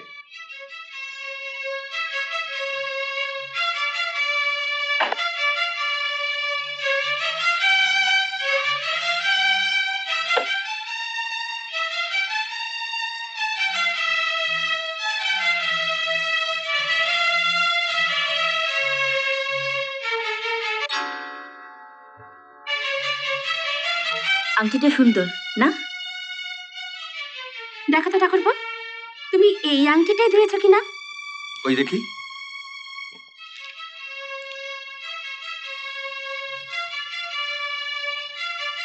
হ্যাঁ এটাই তো দিয়েছিলাম। একটু ভালো করে দেখো না। না না দেখার কি আছে? এটাই দিয়েছিলাম। হ্যাঁ বর্দি ও আমাকে এই আংটিটাই দিয়েছিল। আর আমিও এটা ঠাকুরপোকে দিয়েছিলাম ওর বন্ধু ভাস্করের বউকে দেওয়ার জন্য। আমি যেদিন ঠাকুরপোকে আংটিটা দিচ্ছিলাম বর্দি নিশ্চয়ই আড়াল থেকে দেখেছিল। তাই সব কাজকর্ম ফেলে ছুটে এসছে। আংটিটা নিয়ে তোমার আমার মধ্যে ঝগড়া বাঁধিয়ে দেওয়ার জন্য। তুমি আংটিটা বলছো দিয়ে দিয়েছিলে। তাহলে এটা আবার তোমার কাছে এলো কি করে? বেচারা বর্দি যখন সকালবেলা গুড্ডুকে স্কুল থেকে আনতে গেছিল তখন ভাস্কর এসেছিল ঠাকুরপুর খোঁজে। সেজ বৌদি বিক্রম বাড়ি আছে? না ও তো তোমাদের বাড়িতে গিয়েছে। এই আংটিটা ওকে দিয়ে দেবেন তো? ও তো এই আংটিটা তোমার বউকে দেওয়ার জন্য নিয়েছিল। ওকে দেয়নি? হ্যাঁ দিয়েছিল। দিয়েছিল কিন্তু আমি এটা ওর থেকে জোর করে ছিনিয়ে নিয়ে চলে এসেছি। সে কি? কেন? বিক্রম নাকি লোপার ওকে তো বিয়েতে নেমন্তন্ন করেইনি। ও যখন আংটিটা দিতে গেল ওকে ওকে একবার বসতে পর্যন্ত বলল না? অথচ আংটিটা নেবার সময় হাত পেতে ল্যালা করে নিল। এই আংটিটা পরার অধিকারও নেই। বিশ্বাস করো বর্দি, আমি যদি জানতাম, আমি যখন ঠাকুরপুকে আংটিটা দিচ্ছি, তুমি তা লুকিয়ে লুকিয়ে দেখেছ। আংটিটা যে ফেরত পেয়েছি, সেটাও তোমাকে জানিয়ে দিতাম। তাহলে তোমাকে ওর সামনে এতটা অপদস্থ হতে হতো না? আংটিটা না হয় ফেরত এসেছে। কিন্তু তুমি যে আর সকলকে লুকিয়ে লুকিয়ে ওই লোফারটাকে কত কি দিয়েছ, সেটা কি ঠাকুরপো জানে? এইসব ছোটখাটো ব্যাপার নিয়ে মাথা ঘামাবার মতন সময় তোমার ঠাকুরপুর নেই। সব ব্যাপারে ছোটখাটো নয়, জয়া। তুমি কি অস্বীকার করতে পারো? বিক্রমের প্রতি তোমার কোনো দুর্বলতা নেই? আছে। ভীষণ দুর্বলতা আছে। আমরা তিন বোন। ভাই নেই। এই বাড়িতে এসে ঠাকুরপুর মতন ভাই পেয়েছি। ওর প্রতি তো একটু দুর্বলতা থাকবেই? ভাই, তুমি কি মনে করো? আমি কিছু দেখিনি? রোজ রাত্রিরে যখন সবাই ঘুমিয়ে পড়ে তখন তুমি প্রায় বিক্রমের ঘরে যাও না? হ্যাঁ যাই। রোজ মাঝরাতে উঠে আমি বাথরুমে যাই। এটা আমার অভ্যেস। বাথরুমে যেতে গিয়ে যদি কোনো সময় দেখি ওর গায়ে চাদর সরে গেছে দিদি হিসেবে আমার যে কর্তব্য তাই করি। ভাইয়ের গায়ে চাদর দিয়ে দিই। শুনলে ঠাকুরপো শুনলে তোমার বউয়ের কথা? রাত্রি বিক্রমী ঘরে যখন আমাকে যেতে দেখেছ তখন নিশ্চয়ই এটাও দেখে থাকবে। রোজ আমি দোতলায় উঠে দেখে আসি বাবা ঘুমিয়েছে কিনা। এবার তো তুমি এটাও বলতে শুরু করবে। বিক্রমের মতন আমি বাবার সঙ্গে প্রেম চালাচ্ছি? দু মাস আগে টিউমার অপারেশন করানোর জন্য তুমি যখন হসপিটালে ভর্তি হয়েছিলে আমি গুড্ডুকে দুধ খাওয়াবার জন্য রোজ রাতে তোমার ঘরে গিয়েছিলাম। বর্দা তো ঘরেই আছে। জিজ্ঞাসা করে এসো। কদিন আমি বর্দার সঙ্গে প্রেম করেছি? কাল বাড়িয়ে কেন একটা পর একটা থাপড় খাচ্ছ বড় বৌদি? যাও ঘরে যাও। যা বলল সব বিশ্বাস করলে? বাবা তোমাকে প্রতি মাসে দু হাজার টাকা করে দিত। আর তুমি সবাইকে বলতে যে বাবা তোমাকে পনেরোশো টাকা করে দেয়। এরপরেও তুমি আশা করো যে এই বাড়ির কেউ তোমাকে বিশ্বাস করবে? ঠিক আছে। বউয়ের হয়ে লড়ছে তো? একদিন এই বউকে বিশ্বাস করার ফল হাতে নাতে পাবে। তখন দেখব মুখ দিয়ে আর কথা বেরোয় কিনা।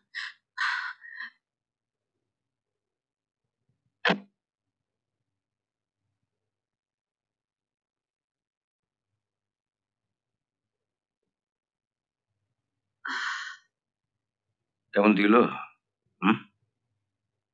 কেমন দিল মানে? আঁচলে দেশলাই বেঁধে রাত বিরেতে ওর ওর ঘরে ঘোরাটা একটু বন্ধ করো। আঁচলে দেশলাই বেঁধে মানে? একবারে আকাশ থেকে পড়লে বলে মনে হচ্ছে। কিছুই বুঝতে পারছ না। হঠাৎ বিপুর ঘর গেছিলে কেন? ঠাকুরপো বিবাহ বার্ষিকীতে জয়াকে কীরকম আংটি দিয়েছে তাই দেখতে। আংটি দেখতে গেছিলে নাকি স্বামী স্ত্রীর মধ্যে কায়দা করে ঝগড়া লাগিয়ে দিয়ে মজা দেখতে গেছিলে? মা আমি? চলো দীপ্তি আঁচলে দেশলাই বেঁধে ঘোরাটা একটু বন্ধ করো। নইলে কোনদিন দেখবে ওই দেশলাইয়ের আগুনে তোমার নিজের সংসারটাই পুড়ে ছাই হয়ে গেছে। ও তুমিও ওদের দলে? শুধু আমি কেন? কাল সকালে গুড্ডু ঘুম থেকে উঠলে ওকে জিজ্ঞেস করো। ও বলব ওদের দলে। ঠিক আছে বাপের বাড়ি যাবে? বাবাকে ফোন করতে যাচ্ছ?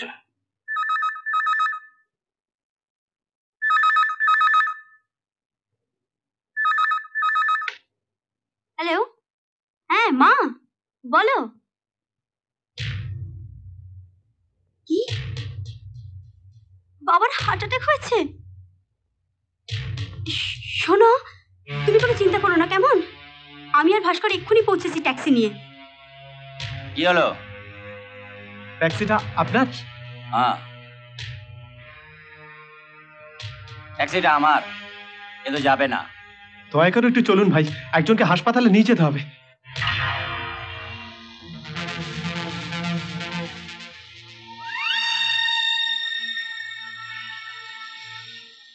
হাসপাতালে কেন রে? কার আবার কি হলো? রত্নার বাবার হার্ট অ্যাটাক করেছে। এক্ষুনি হাসপাতালে নিয়ে না যেতে পারলে একদম সর্বনাশ হয়ে যাবে।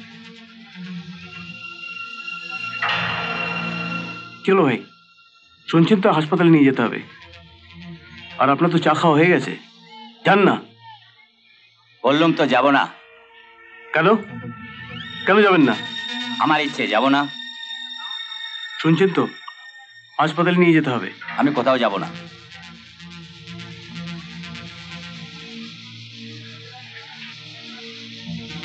যাবেন না? না। ভাস্কর হুম? ট্যাক্সি দেখি ওঠ। এই! তোরা উঠিয়ে দে। ওঠো। আয়।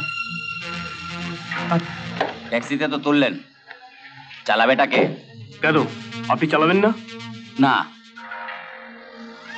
চাবিটা দিন। চাবি দেব। কেন আপনার বাবার ট্যাক্সি নাকি? সালা বাপ তুলে কথা।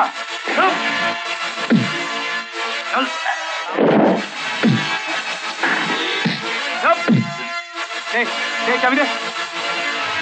ট্যাক্সি ছিনতাই করেছে। হ্যাঁ স্যার ওরা দলে চার পাঁচজন ছিল। আমাকে মেরে সাতশো টাকা আর চাবি সব চিন্তাই করে নিয়েছে। হ্যাঁ স্যার। ও মিথ্যে কথা বলছে। বিক্রম আমার ট্যাক্সি নিয়ে গেছে ঠিকই কিন্তু টাকা নেয়নি। বিক্রম সত্যি সত্যি ট্যাক্সি ছিনতাই করেছে?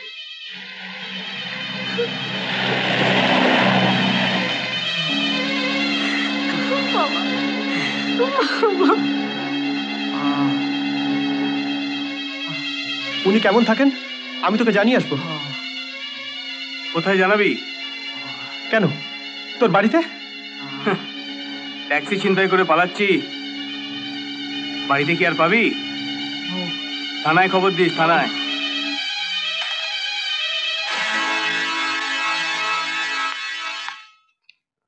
ট্যাক্সিটা থানার বাইরে আছে।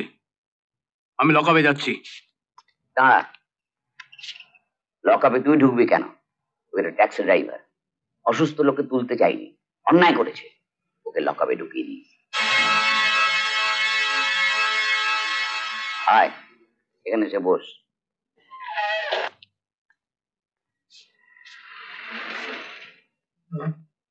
মেয়েটার বিয়ে দিতে গিয়ে লকআপে ঢুকলি। রাজুদের মুখে শুনলাম, বউ ভাতে ওকে নেমন্তন্ন করেনি। আর সেই মেয়েটার অসুস্থ বাপকে বাঁচাতে গিয়ে ট্যাক্সি ড্রাইভারকে মেরে সে ট্যাক্সি নিয়ে হাসপাতালে গেলি। পারিসও বাবা তুই। ওরা আমাকে লোফার ভাবতে পারে স্যার। কিন্তু কিন্তু আমি তো ভাস্করকে বন্ধু ভাবি। আর বন্ধু হয়ে যদি বন্ধুর জন্য না করি স্যার? দাদু বাবু দাদু বাবু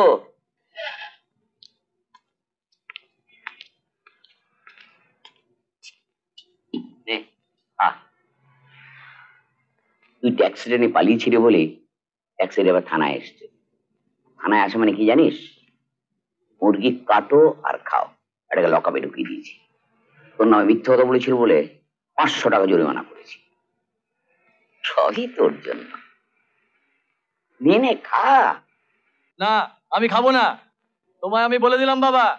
শুধু আজ নয় এ বাড়িতে আমি কোনোদিনও খাব না। কেন খাবি না কেন? কি হয়েছে কি? আজ আমি একটা হেস্ত নেস্ত করেই ছাড়বো। দেখুন না বাবা সামনের দোকানে কেরোসিন তেল এসেছে। ওকে বললাম আমাকে দশ লিটার তেল এনে দেবে? মুখের ওপর না বলে দিল।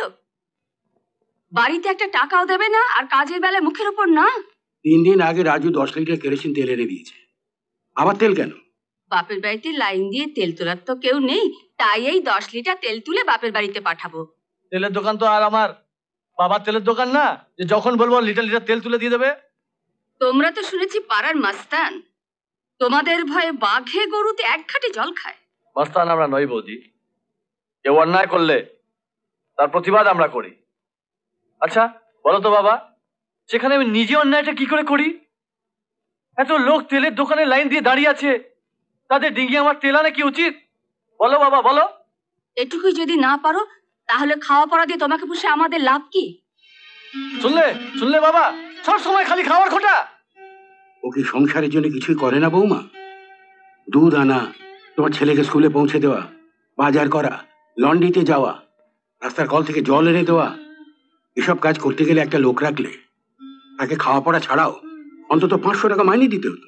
হ্যাঁ দিতে যেমন হতো তেমনি একদম ঘাট ধরে লাইনে দাঁড় করিয়ে আমি তেল আনাতাম।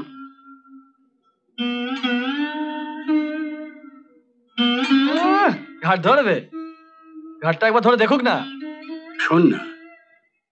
পাড়াতে শুনলাম তোর বন্ধু বিক্রম নাকি কোন এক কোটিপতির মেয়েকে বিয়ে করছে। বিক্রমকে বল না। সেই ভদ্রলোককে বলে তোর একটা চাকরির ব্যবস্থা করতে। চাকরি দিয়ে দেবো? হ্যাঁ। বিক্রমের একজন বন্ধু বিয়ে করে দল ছাড়া হয়েছে। আর চারজন আছে। আপনি ওই চারজনকে চাকরি দিয়ে কলকাতার বাইরে চারটে জেলায় পাঠিয়ে দিন। বিক্রম তাহলে একেবারে একা হয়ে যাবে। তারপর নন্দদাকে দিয়ে ওকে এমন পেটান পেটাবো যাতে ও আর কোনোদিনও টিনার ধারে কাছে না আসতে পারে। হ্যাঁ কথাটা বন্ধ বলেন তো? চারটে ছেলেকে টেম্পোরারি সেলসের কাজ দিয়ে কলকাতার বাইরে পাঠিয়ে। তারপর তোমার সঙ্গে টিনার বিয়েটা হয়ে গেলেই ওদের চাকরি থেকে বরখাস্ত করব পরশু টিনার জন্মদিন। বিক্রম আর তার বন্ধুদেরও নিশ্চয়ই সেদিন আসতে বলেছে। আপনি সেদিন ওদের চাকরির কথাটা বলবেন। কিন্তু বিক্রম তো ওখানে থাকবে ওকে চাকরি না দিয়ে ওর বন্ধুদের চাকরি দিচ্ছি। ও সন্দেহ করবে না? ও আপনি কোনো চিন্তা করবেন না। আমি কায়দা করে বিক্রমকে একটা গান গাইতে অনুরোধ করব। বিক্রম যখন গানটা গাইবে তখন আপনি ওদের বাইরে ডেকে নিয়ে হ্যাঁ ওর দিলে মন্দ না।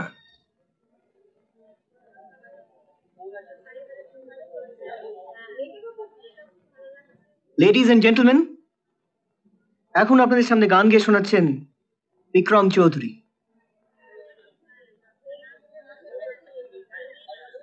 লাথি মেরে গাড়ির কাজটা ভেঙে দিয়েছিলে।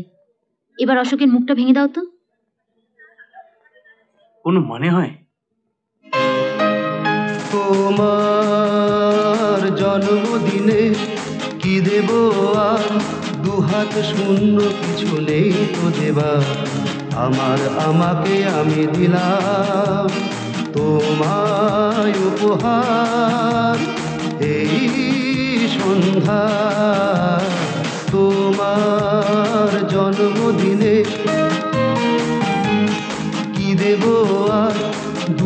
শূন্য কিছু নেই তো দেবা আমার আমাকে আমি দিলাম।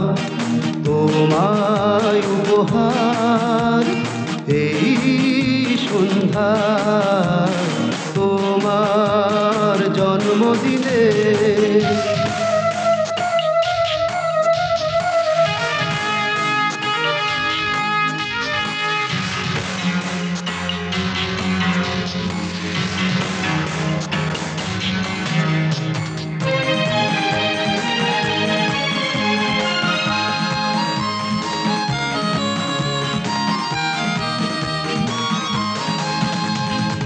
অনেকে পেয়েছ তুমি মনি কাঞ্চন হিরে চুনি পান্না মনেরই মতন লা লা লা লা লা অনেকে পেয়েছ তুমি মনি কাঞ্চন ধীরে চুনি পান্না মনেরই মতন তুলনায় আমি কিছু পারিনি দিতে। মন আরও বেশি দিতে চাই। মন আরও বেশি দিতে চাই। উপহার সন্ধ্যায় তোমার জন্মদিনে কি দেব আর? দুহাত শূন্য কিছু নেই তো দেবার। আমার, আমাকে আমি দিলাম।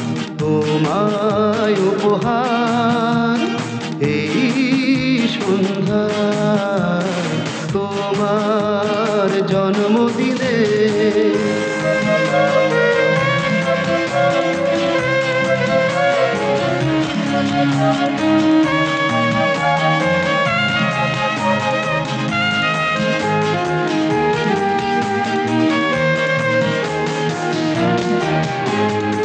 তোমাকে দিয়েছি আমি জানি না কখন।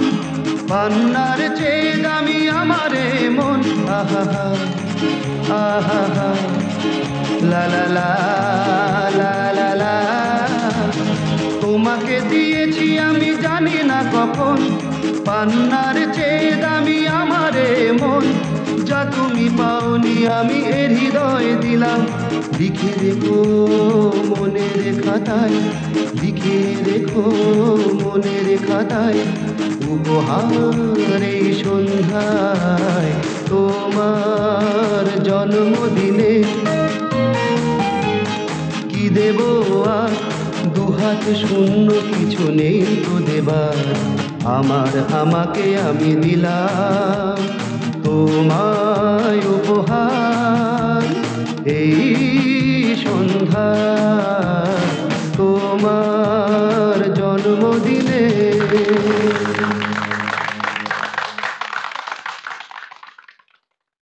আমার তো অবাক লাগছে। তোমাকে চাকরি না দিয়ে তোমার চার বন্ধুকে একসঙ্গে চাকরি দিয়ে দিল? আমার সঙ্গে উনি এমন ব্যবহার করলেন যেন আমি ওনার জামাই হয়ে গেছি। আমার মনে হয় টিনার তো মা নেই। ও হয়তো বাবাকে বলেছে তোকে ছাড়া আর কাউকে বিয়ে করবে না। তাই ওনার তোকে মেনে নেওয়া ছাড়া আর কোনো গতি ছিল না।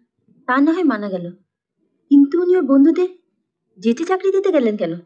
কাল সকালে টিনাকে ফোন করলে সব ব্যাপারটা জানা যাবে।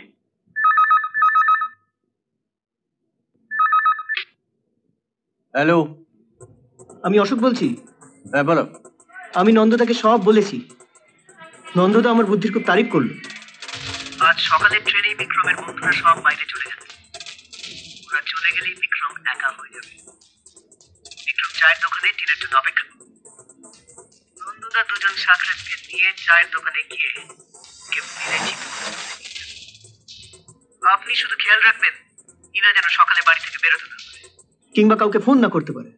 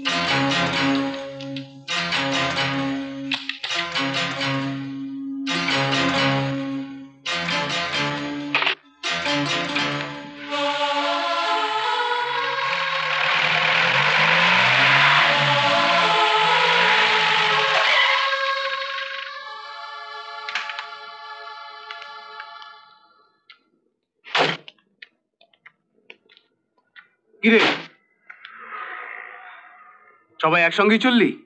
আমাদের সবার ট্রেনই প্রায় একই সঙ্গে। আধ ঘণ্টা আগে পরে এই যা। সবাই মন দিয়ে ভালো করে কাজ করবি। বুঝলি? মন কতটা দিতে পারব ঠিক জানি না। ভালো না লাগলে ফিরে আসব। মারবো এক চড়।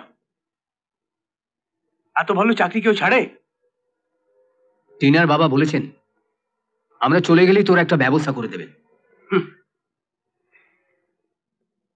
বিক্রম আমরা কিন্তু এই শর্তেই যাচ্ছি। কথা বলে মনে হলো উনি খুব তাড়াতাড়ি তোদের বিয়ে দেবেন আর টিনাকে দেখলাম খুব খুশি।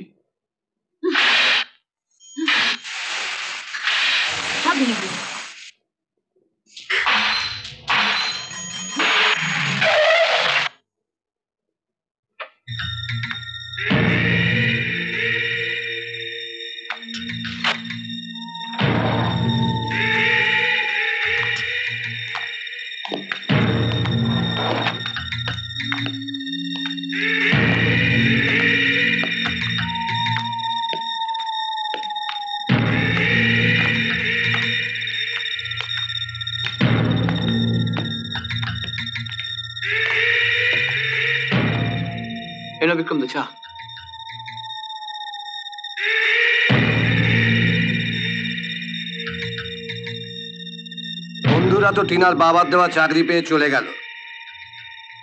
তুই গেলি না?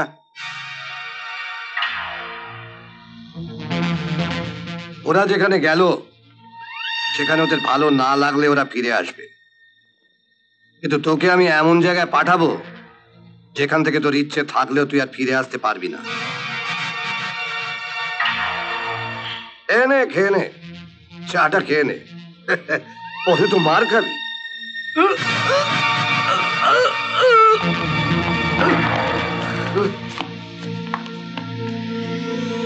মার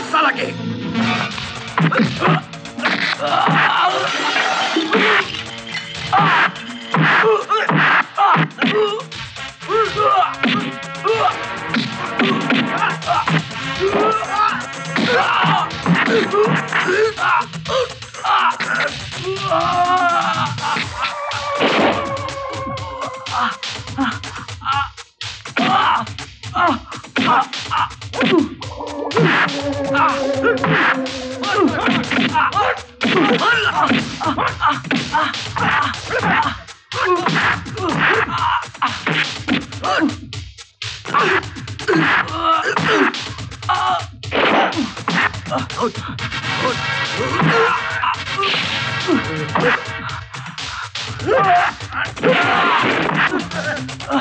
বলকে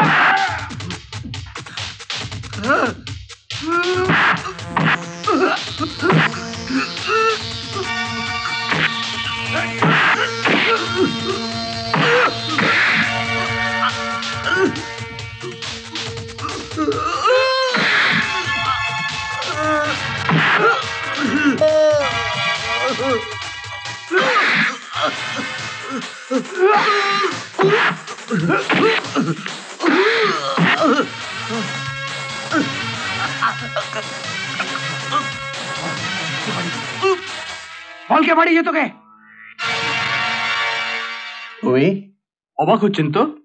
হ্যাঁ? আমার বন্ধুদের চাকরি দিয়ে বাইরে পাঠিয়ে আমাকে স্বর্গে পাঠাবার প্ল্যান করেছিলেন। আপনার পাঠানো জমদূত এখন হাসপাতালে তার পার মাথার চিকিৎসা করাচ্ছে। একবার অন্তত ফোন করে ওর খোঁজ খবরটা নিন হ্যাঁ? দরজা খোলো। বলো না? বাবা দরজা খোলো।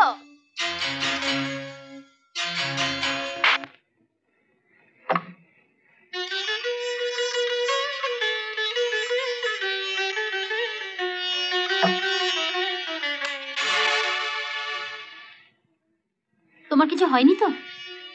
তোমার ভালোবাসা আমাকে ঘিরে রেখেছে। কার সাধ্য? আমার ক্ষতি করে। টিনা? টিনা, দরজা খোল। টিনা, দরজা খোল বলছি। টিনা। তুমি তো আমায় আটকে রাখতেই চেয়েছিলে। তুমি বাইরে থেকে আটকে রেখেছো, আমি ভেতর থেকে আটকে দিয়েছি।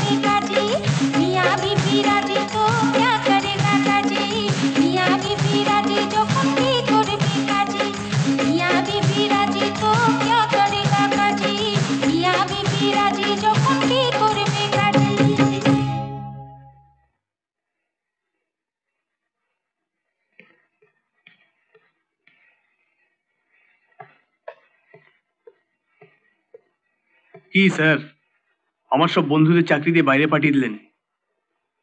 এই গরিব ব্রাহ্মণের ছেলেটা কি দোষ করল? দোষ তোমার অনেক। সব থেকে বেশি দোষ হচ্ছে যে ব্রাহ্মণ হয়ে তুমি চাঁদে হাত দিতে গেছো। আপনার এই অবু জামার সঙ্গে আমাকে একটু মেপে দেখুন তো স্যার। আমার মনে হয় ওর থেকে আমি এই একটু বেশি লম্বা। আর চাঁদে হাত আমি দিতে যাইনি স্যার। চাঁদটাই আকাশ থেকে নেমে এসছে আমার কাছে। আর সেটা নিশ্চয়ই ওখানে গাওয়ার টিনার গান শুনে আপনি বুঝেছেন। বাজে কথা রাখো। তুমি সত্যি চাকরি করবে? হ্যাঁ স্যার। দয়া করে যদি দেন। যে কোনো চাকরি। তবে স্যার আমি কলকাতার বাইরে যেতে পারব না। কলকাতা থেকেই চাকরি করব। তুমি আমার অফিস চেনো? হ্যাঁ স্যার। টিনা আমায় বলেছে। বসো। মাসে কত টাকা মাইনে চাও তুমি? আমি চাইলে তো হবে না। আপনি আমার কাজ দেখে মাইনে দেবেন। তোমার কাজ আমি দেখেছি। বেশ কয়েকবার দেখেছি। তোমার যা করা উচিত তা তুমি করনি। আর যা করা উচিত নয় তাই করেছ। একবার নয় বারবার করেছ। শোনো বিক্রম টিনা আমার একমাত্র মেয়ে। আমি চাই আমার পছন্দ করা পাত্র অশোককে বিয়ে করুক। চাকরি দেবো বলে ডেকে এনে আপনি আমায় এসব কথা শোনাচ্ছেন কেন? চাকরি করে তুমি কত টাকা মাইনে পেতে? দু হাজার তিন হাজার অর্জোর পাঁচ হাজার আমি তোমাকে থেকে অনেক অনেক বেশি টাকা দেবো। শুধু টিনার সঙ্গে মেলামেশাটা তোমাকে বন্ধ করতে হবে। মেয়েটা তো আপনার। আপনার মেয়েকে বলুন না আমার সঙ্গে মেলামেশা বন্ধ করতে। চলে নমস্কার। দাঁড়াও। তোমার তিন দাদা মিলে মাসি যা রোজগার করে। তুমি কি জানো যে টিনার মাসিক হাত খরচ? চেয়ে অনেক বেশি। টিনার ভ্যানিটি ব্যাগটা যেদিন আমি কুড়িয়ে পেয়েছিলাম সেদিন ওর ব্যাগের ভেতরে টাকা দেখেই আমি বুঝেছি ওর হাত খরচটা কত। সব জেনে শুনেও তুমি ওকে আমি টিনাকে ভালোবাসি। তোমার এই ভালোবাসাটা আমি কিনতে চাই। বলো কত দেবে হাউ হুম ভালোবাসা? Damn you. তুমি যা চাইবে আমি এক চেকেতে দিয়ে দেবো। বলো কত টাকা চাই? টেক আউট আপনি ভুল করছেন স্যার।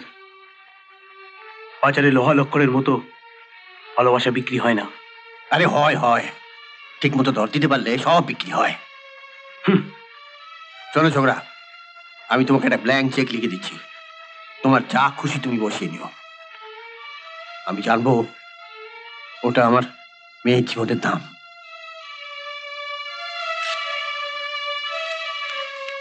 ওপরটা খালি রেখে সই করে দিয়েছি। তোমার যা খুশি বসিয়ে নাও। না দেখো।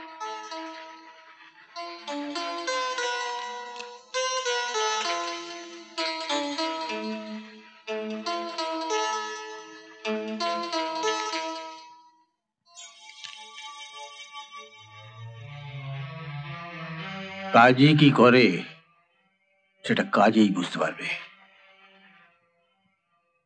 ঠিক এইভাবে আমি তোমাকে টুকরো টুকরো করে ছিঁড়ে ফেলে দেবো। কেউ তোমাকে বাঁচাতে পারবে না। আমিও বলে গেলাম, টিনাকে আমি বাড়ি থেকে বার করবই। আর আপনার ভাড়াটে গুন্ডারা আমার কিচ্ছু করতে পারবে না। যদি পারেন, তো টিনাকে আটকাবেন।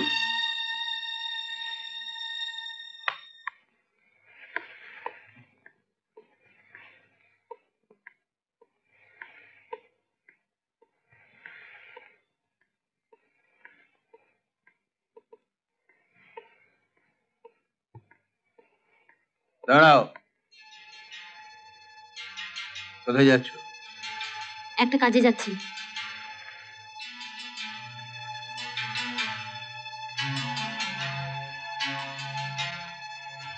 তোমাকে বলা হয়নি। বাইরে আমি দুজন সিকিউরিটি লোক রেখেছি।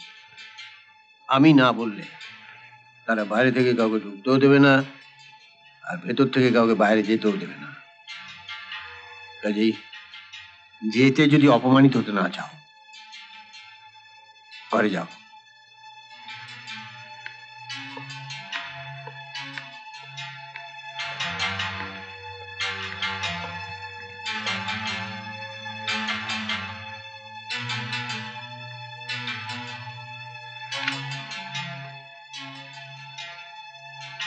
হ্যাঁ? তুমি ওটা জানো না টেলিফোনটা আমি ডিসকানেক্ট করে দিচ্ছি জরুরি কাজের জন্য সেলুলার ফোনটা ব্যবহার করছি। জরুরি ফোন থাকলে বলো, গল্প করার জন্য এটা নয়।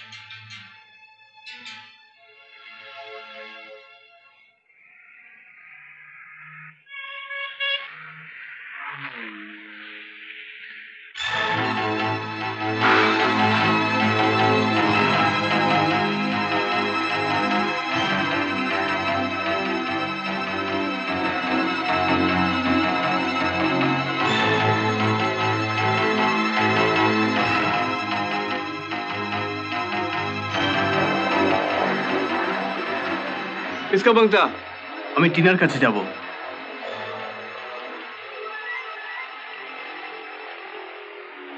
কি হলো?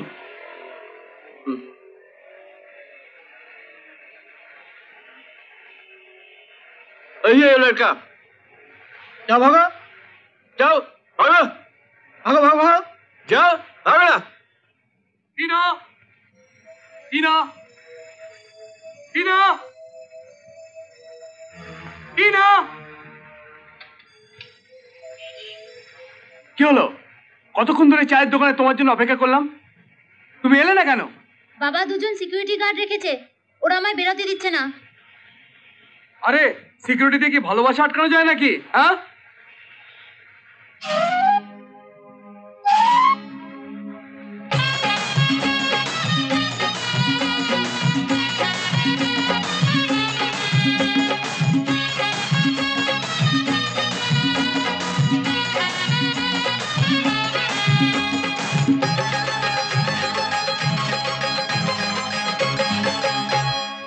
মিয়া রাজি বিবি রাজি মিয়া রাজি বিবি রাজি मियाँ राजी बीबी राजी मियाँ बीबी दोनों राजी क्या करेगा काजी बोलो क्या करेगा काजी क्या करेगा काजी बोलो क्या करेगा काजी মিয়া বিবি রাজি যখন কি করবে কাজী আমার বড় ইচ্ছে ওগো বরটি তোমার সাজি বরটি তোমার সাজি মিয়া বিবি রাজি যখন কি করবে কাজী? আমার বড় ইচ্ছে, ওগো কি তোমার সাজি বরটি তোমার সাজি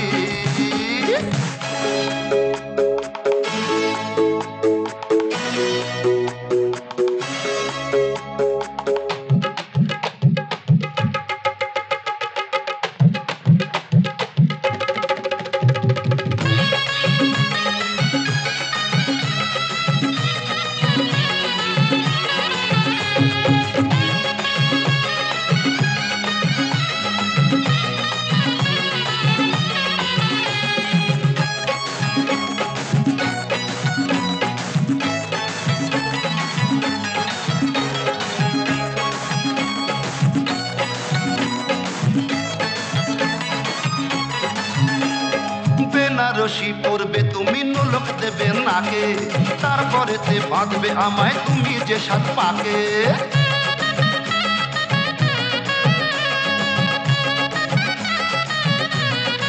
আরে বেনারসি পরবে, তুমি নোলক দেবে নাকে। তারপরে তে বাঁধবে আমায়, তুমি যে সাত পাকে।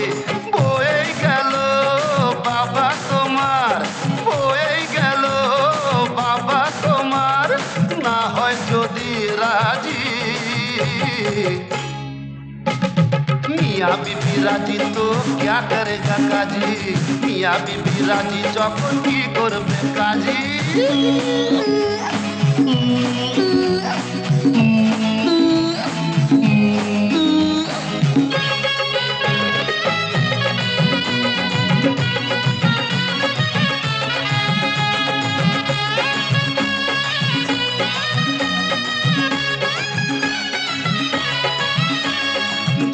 তোমায় আটকে রাখুক, মনটা আছে খোলা।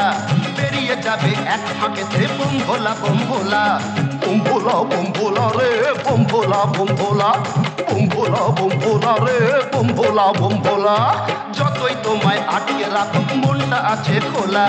বেরিয়ে যাবে এক ফাঁকেতে বম্ভোলা বম্ভোলা। আপন করে নেবই তোমায়, আপন করে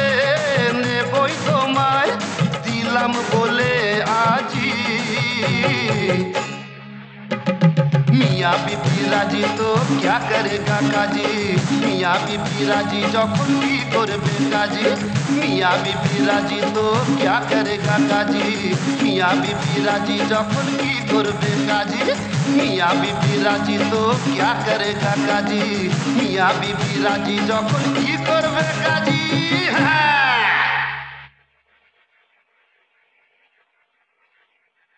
থাক থাক। তোমাকে তো ঠিক চিনতে পারলাম না বাবা। আপনি আমাকে অনেক ছোট দেখেছেন। আমার নাম বরুণ চক্রবর্তী। আমি আপনার কলেজের সহপাঠী ঢাকা শিবদাস চক্রবর্তীর ছেলে। ঢাকার শিবদাস চক্রবর্তী? শিবদাস মানে শিবু? তুমি শিবুর ছেলে আরে বসো বসো বসো। বসো। বেশ কয়েক বছর আগে শিবু একবার এসেছিল এখানে। ও বলল তুমি একটা ভালো চাকরি পেয়ে আমেরিকায় চলে গেছো। হ্যাঁ আমি এখন ওখানেই থাকি। বাবার মৃত্যুর খবর পেয়ে এসেছি। ও শিবু মারা গেছে? বাবা মারা যাওয়ার মাসখানেক আগে আমাকে এই চিঠিটা পাঠিয়েছিলেন। আপনি এটা একটু পড়ুন। তোমার বাবার চিঠি পড়াটা কি ঠিক হবে? দয়া করে একটু পড়ুন।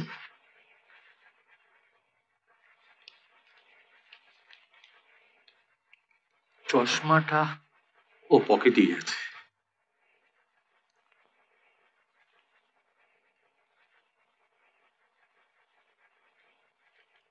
প্রিয় বরুণ, আশা করি ভালোই আছো। তোমাকে একটা জরুরি কথা বলার ছিল, কিন্তু তুমি সেই যে আমেরিকায় চলে গেলে আর ফিরলে না।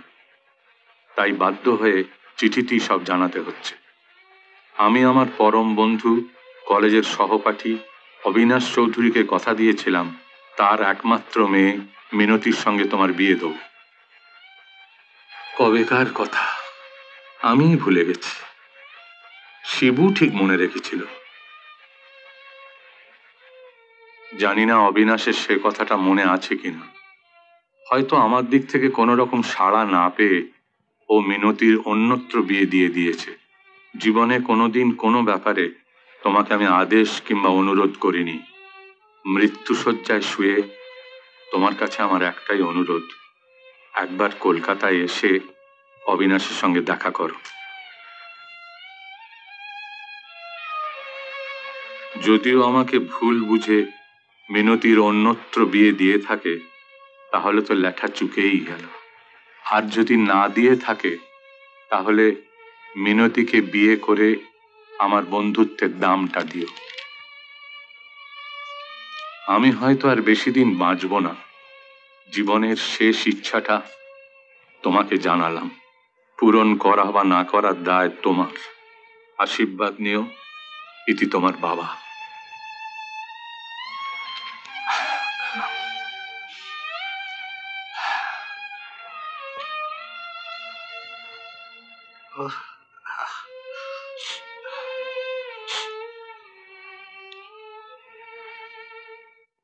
মিনতির কি বিয়ে হয়ে গেছে?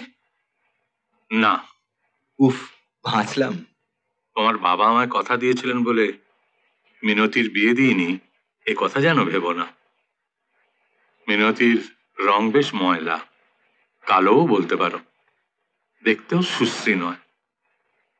আমি অনেক চেষ্টা করেও ওর বিয়ে দিতে পারিনি। কালো মেয়ে বলে পাত্রপক্ষেরা এত কালো টাকা দাবি করে। তার সামর্থ্য তো আমার নেই এমনকি আমার ছেলেদেরও নেই। ভগবান যা করেন মঙ্গলের জন্যই করেন। আশা করি আমি আমার বাবার শিশির সেটা পূর্ণ করতে পারব। তুমি কি মিনতিকে দেখেছ? মানে ওপরে ওঠার সময়? না। তুমি তাহলে ওকে একবার দেখে নাও। শুধুমাত্র তোমার বাবার অনুরোধ রাখার জন্যেই? শুনুন ওকে আমার দেখার প্রয়োজন নেই। শোনো তোমার বাবার কথা রাখতে গিয়ে মানে এটা তো পুতুল কেনা নয়। পছন্দ হলো না দুদিন বাদে ফেলে দেবে? তুমি একবার দেখো বাবা। আমি ওকে ডেকে নিয়ে আসছি। কেমন? না বাবা ওনাকে তুমি বলে দাও। শুধুমাত্র বাবার কথা রাখার জন্য আমাকে বিয়ে করতে হবে না। আহা তুই একবার আয় না। তুমি চলো দিদি। ওঠো। আমি তোমায় নিয়ে যাচ্ছি। কেন শুধু শুধু বারবার আমাকে এভাবে লজ্জায় ফেলো তোমরা? এ ক বছরে কতবার সেজে গুজে বসেছে বলো তো? সবাই খবর দেবে বলে পালিয়ে গেছে। আসলে আমি তো দেখতে ভালো নই। কালো বলে না না ও ছেলেটি তেমন নয়। ও তো তোকে দেখতেই চায়নি। আমি তো ওকে বললাম। আমি জানি। আমাকে দেখার পর ওনার পিতৃভক্তি চটে যাবে। পরে জানাব বলে আর সবার মতো পালাবে। এই শেষবার। আর কোনোদিন তোমাকে বলব না। এসো।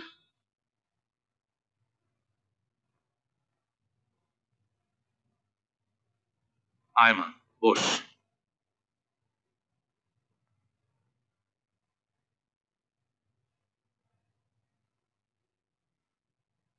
ও কালো এটা মানছি কিন্তু একেবারেই সুশ্রী নয় এটা মানতে পারছি না। দেখো আমার তোমাকে পছন্দ হলে তো চলবে না। জানতে হবে আমাকেও তোমার পছন্দ হয়েছে কিনা। রসিকতা করছেন? না না রসিকতা করব কেন? প্রত্যেক মানুষের একটা পছন্দ অপছন্দের ব্যাপার থাকতে পারে। আমার মতো একটা মেয়ে যে কমপক্ষে একশো বার সেজে গুজে পাত্রপক্ষের সামনে এসে বসেছে। তার পছন্দ অপছন্দের কোনো মূল্য আছে নাকি? নিশ্চয়ই আছে। আপনি দিদির কথায় কিছু মনে করবেন না। মনে করা তো দূরের কথা। ওর রং ময়লা বলে আমার যদি কিছু আক্ষেপও থাকতো ওর সততা তাও মুছে দিয়েছে।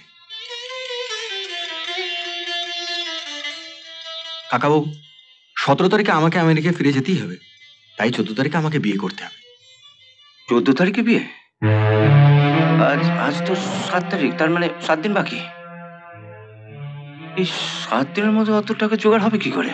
শোনো তারিখটা জেনে গুড্ডুকে একটা সোয়েটার পরিয়ে ডাক্তারের কাছে নিয়ে যাচ্ছি খুব জ্বর হয়েছে। এই বলে না একটা ট্যাক্সি করে বাবার কাছ থেকে ঘুরে এসেছি।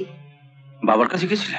হ্যাঁ ঘরে যে গয়না ছিল সেগুলো আর আমার আর গুড্ডুর নামে যে ফিক্সড ডিপোজিটের সার্টিফিকেটগুলো আছে সে সব নিয়ে না বাবার কাছে রেখে এসেছি। তোমার কি ধারণা? টাকা কম দিলে বাবা আলমারি থেকে ওগুলো নিয়ে যেত? কিছু কি বলা যায়? অমন কেলটি মেয়ের জন্য কত ভালো পাত্র। টাকা টাকা করে বাবা তো প্রায় পাগল হয়ে উঠেছেন। তাই বলে তুমি বাঁধিয়ে রাখার মতো চরিত্র। বাজে কথা রেখে কাজের কথা শোনো। কাল সকাল আটটার সময় বাবা তোমাদের সব ভাইদের আর আমাদের সব বউদের তার ঘরে ডেকেছেন। সকাল আটটায়? হ্যাঁ কাল সকালে একটু তাড়াতাড়ি উঠো। তা নয় উঠলাম। কিন্তু মিটিং এ গিয়ে কি হবে বলো তো? আমি তো দশ বারো হাজার টাকা বেশি জোগাড় করতে পারব না। মাত্র দশ হাজার টাকা? তা আমি এর বেশি কোথায় পাবো? গত বছর জোগাতে যে জমিটা কিনেছিলে ওটা বিক্রি করে দাও না। তুমি কি পাগল হয়েছো? অমন জমি আর পাবো? এমন পাত্রও তার পাবে না। তুমি কি চাও না তোমার দিদি সুখী হোক? দেখো দিদিকে সুখী করার দায়িত্ব শুধু আমার একার নয়। তবু আমি দেখছি কতদূর কি করা যায়। আমি বলছিলাম কি? শোনো বিয়ের দিন পড়ার জন্য একটা দুটো গয়না রেখে বাকিগুলো তুমি আজকেই বাবার কাছে রেখে এসো। বাবার কাছে রেখে আসব? হ্যাঁ যা বলছি তাই করবে। সকালে গিয়ে তোমার বাবাকে বলবে গত বছর আমার বাবার গল ব্লাডার অপারেশন করতে গিয়ে তোমার ষাট হাজার টাকা খরচ হয়ে গিয়েছে। তোমার হাতে একদম টাকা নেই। ওই সামান্য একটা অপারেশন করতে এত টাকা খরচ হয়েছে বললে কেউ বিশ্বাস করবে? বিশ্বাস করুক আর না করুক তাতে আমাদের কিছু যায় আসে না। তুমি তো বেশ গুছিয়ে মিথ্যা কথা বলতে পারো। একটা সলিড কিছু ভাবো না। বললাম তো যা বলছি তাই বলবে। সকলে মিথ্যে কথা বলে টাকা কমানোর চেষ্টা করবে। তুমি বা ছাড়বে কেন? তাহলে কত দিতে পারব বলব? আড়াই হাজার থেকে শুরু করবে। আড়াই হাজার টাকার থেকে? শোনো একটু বুদ্ধি খরচ করো। মিনতি আছে বলেই আমাদের বাড়িতে কোনো কাজের লোক বা রান্নার লোক রাখতে হচ্ছে না। ওর যদি সত্যি সত্যি বিয়ে হয়ে যায় তাহলে বাড়িতে সর্বক্ষণের জন্য একটা কাজের লোক রাখতে হবে। হ্যাঁ তা তো রাখতেই হবে। এবার ভাবো যে মেয়েটা রান্না করা বাসন মাজা কাপড় কাচা ঘর মোছা এসবের জন্য আসবে সে তো কম করে এক হাজার টাকা মাইনে চাইবে খাওয়া পড়া ছাড়া। হ্যাঁ তা তো চাইতেই পারে। তোমার ওই লোফার ভাইটা ছাড়া আর তিনজনই তোমরা চাকরি করো। তখন কাজের লোকের জন্য আর তিন চারশো টাকা করে সকলকে এক্সট্রা দিতে হবে। হ্যাঁ তার মানে মিনুর বিয়ে হওয়া মানে আমাদের দুই দিক দিয়েই ক্ষতি। মিনুর বিয়ের টাকাও দিতে হবে আবার কাজের লোকের টাকাও দিতে হবে। যাক বুদ্ধিটা তাহলে খুলেছে। শোনো এই দীপুর সঙ্গে একটু আলোচনা করে দেখো। বিয়েটা একেবারে ভেঙে দেওয়া যায় কিনা? কথাটা তুমি মন্দ বলনি। যা করার আজকে রাত্রেই করবে। কাল কিন্তু তোমার বাবা আর বর্দা চাইবেই বিয়েটা হোক। এ বিয়ে হবেই বাবা। তুমি এ নিয়ে চিন্তা করো না। আপনি এখনই কি করে জোর দিয়ে বলছেন হবেই? আগে শুনুন বাবা কত টাকার হিসেব দেন? আমি হিসেব করে দেখলাম যে খাওয়া দাওয়া গয়নাগাটি তারপর বিয়ে বাড়ি ভাড়া এই সব মিলিয়ে কম করে লাখ দুই টাকা খরচা হবেই। মা দু লক্ষ টাকা? কোথেকে আসবে অত টাকা?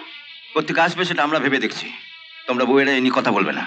আমরা কথা না বললে কি করে হবে? মেয়ের বিয়ে দিতে গিয়ে বাবা কি গোটা পরিবারটাকে পথে বসাবেন নাকি? তুমি চুপ করো না মেজো বৌদি। দাদা যখন দায়িত্ব নিচ্ছে তখন? দাদা দায়িত্ব নিচ্ছে মানে? তোমরা তিন ভাই পাশ কাটিয়ে যাবে আর বড়দা একা দায়িত্ব নেবে? দাদা একা কেন দায়িত্ব নেবে? সবাই মিলে কিছু কিছু করে দিলেই তো হয়ে যাবে। তোমরা চার ভাই। চার ভাগের এক ভাগ তুমিও দেবে তো? আমি মানে? এ তুমি কি বলছো মেজদি? ও কোথা থেকে দেবে? ও কি চাকরি করে? কোত্থেকে দেবে তো আমরা কি করে জানব? এমনিতে না পারে ধার করে দেবে? দিতে ওকে হবেই কম দিক আর বেশি দিক। ফালতু সময় নষ্ট না করে কাজের কথা এসো। তার মানে ছোট ঠাকুর পর বাবা কিছুই দেবেন না? বাবার পেনশন থেকে জ্ঞানো টাকায় কেনা গয়নাগুলো তো এখন তোমার কাছেই আছে। হুম ওগুলো বেঁচে দাও না। তুই মাঝখানে কথা বলছিস কেন? ও গয়নাগুলো তো বড় বৌমাকে আমি দিয়েই দিয়েছি। বাবা ও আমি হাজার পঁচাত্তরের ব্যবস্থা করতে পারব। পঁচাত্তর হাজার? তুমি এত টাকা পাবে থেকে সে আমি যেখান থেকে জোগাড় করতে পারব। এখন তোরা বল কে কি দিতে পারবি? আমাদের একটু সময় দিতে হবে। বিয়ের আর মাত্র ছ দিন বাকি। এখনও তোমরা সময় চাইছো? এক পয়সা দেওয়ার মুরদ নেই। তুই আবার এর মধ্যে নাকা হচ্ছিস কেন? তুই বাইরে যা তো। যা। আমি টাকা দিতে পারব না বলে। ঠিক আছে।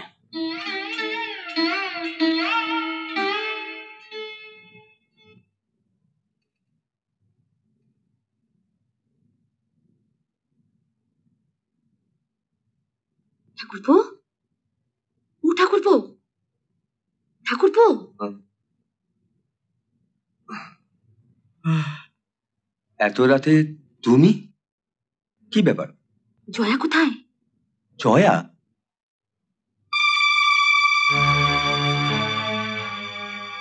কোথায় গেল? সেদিন তো আমার কথা বিশ্বাস করনি। আজ একেবারে হাতে নাতে ধরবে এসো। নিচে সুবিধে হচ্ছে না বলে তোমার সতীলক্ষ্মী বউ তার পেয়ারের লোফার ভাইটিকে নিয়ে একেবারে ছাদে চলে গেছে। শেষদা জানতে পারলে কিন্তু খুব রাগ করবে তোমার শেষদা জানবেই না। ওই আমাকে বলেছে গয়নাগুলো বাপের বাড়িতে রেখে আসতে। কিন্তু? কোনো কিন্তু নয়। এই গয়নাগুলো বিক্রি করে যা পাবে সবটাই তুলে দেবে বাবার হাতে বিয়ের জন্য। ধরো। নানা বৌদি এটা হয় না। শেষদা যদি কোনোভাবে জানতে পারে তাহলে? বলছি তো তোমার শেষদা জানতে পারবে না। শেষদা জেনে গেছে? বাহ! বাহ বাহ বাহ বাহ। সুন্দর চমৎকার। পাছে বড় বৌদি দেখে ফেলে? তাই এই লোফারটাকে নিয়ে প্রেম করতে তুমি ছাদে এসেছ? শেষ শেষদা। চুপ কর। লোফার কথাকার? মা বৌদি জ্ঞান হারিয়ে বসে আছিস তুই। এ কি বলছো তুমি? তুমি চুপ করো। চলো। ফের যদি লোফাটার সাথে কথা বলতে দেখি তাহলে মেরে তোমার আমি হাড় ঘুরিয়ে দেবো। সেজ বৌদির গায়ে তুই হাত তুলে দেখ না। তোর এই হাত আমি কেটে নাবিয়ে দেবো। কি বললে? তুমি কি ভেবেছো? তুমি আমার সামনে দাঁড়িয়ে আমার স্বামীকে অপমান করবে? আর আমি সেটা সহ্য করব? ছোট ভাইয়ের মতন ভালোবাসি বলে সবার সামনে যাতে তুমি ছোট না হয়ে যাও, তাই জন্য এই গয়নাগুলো দিতে এসেছিলাম। তার মানে এই নয়, তুমি লোফারের মতন আমার স্বামীকে যাতা বলবে, আর আমি সেটা মেনে নেব। ক্ষমা চাও শেষদার কাছে। যাও, ক্ষমা চাও, যাও, ক্ষমা চাও।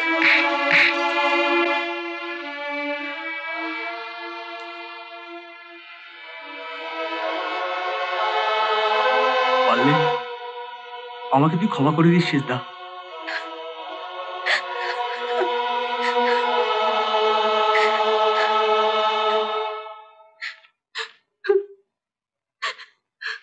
কি ব্যাপার? কাঁদতে বসল কেন? শুধু এখন কেন? সারা জীবন যাতে কাঁদতে হয় সেই ব্যবস্থাই তো করে দিচ্ছ। এক বোনের জন্য আমাকে আর গুড্ডুকে একেবারে পথে বসিয়ে ছাড়ছ। পথে বসাচ্ছে? তাছাড়া আবার কি? বাবার কাছ থেকে ফিক্সড ডিপোজিটের সার্টিফিকেটগুলো নিয়ে এসেছ। গয়না নিয়ে এসেছ। আমি বেঁচে থাকলে সব আবার হবে। না তাড়াতাড়ি সই করে দাও ব্যাংকে যেতে হবে। হাতে মাত্র দুদিন সময়। আমাদের ফিক্সড ডিপোজিটের পঞ্চাশ হাজার টাকা তো তুলে দিচ্ছ। আবার অফিস থেকে পঞ্চাশ হাজার টাকা ধার করবে বলে দরখাস্ত দিচ্ছ। মাসে মাসে দু হাজার টাকা করে অফিস থেকে তো কেটে নেবে। এরপর গুড্ডু স্কুলের মাইনেটাই বা দেবো কি করে? আর সংসারটাই বা চলবে কি করে? চলবে কি করে সে চিন্তা আমার? নাও চিঠি দুটো সই করে দাও। না বৌদি তুমি সই করবে না। কি? তুই?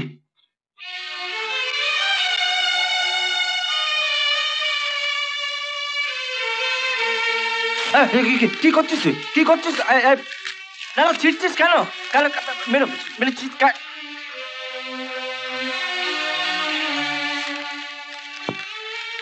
কি পাগলামো শুরু করছিস? কি করছিস নাকি? হ্যাঁ? আমার একার ঘর বসাতে গিয়ে আমি সবার ঘর ভাঙতে দেব না বর্দা। থেকে আমার বিয়ে ঠিক হয়েছে। আমি সেদিন থেকে দেখছি তুমি জয়া আর বিক্রম ছাড়া এবারে কেউ আমার সাথে কথা পর্যন্ত বলছে না। কেন? এই বিয়েটাকে আমি ঠিক করেছিলাম? না আমি কোনোদিনও তোমাদের বলেছি আমার বিয়ে দিয়ে দাও।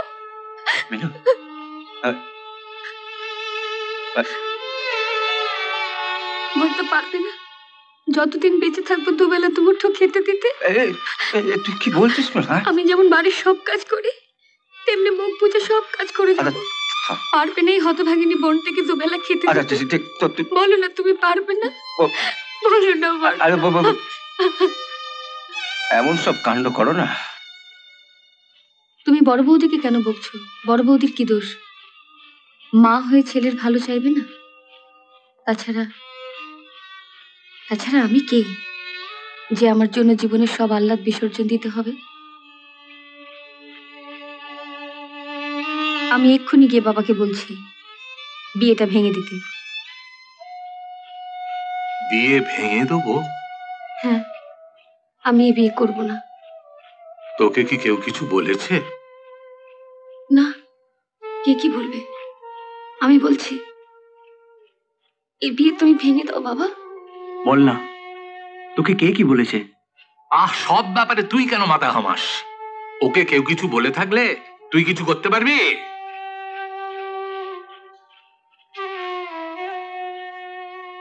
কি হয়েছে রে? আমাকে বল। আমি কি তোমার কাছে এত বড় বোঝা হয়ে গেছি, বাবা? আমাকে তাড়াবার জন্য তুমি গোটা পরিবারকে তছনছ করে দিচ্ছ।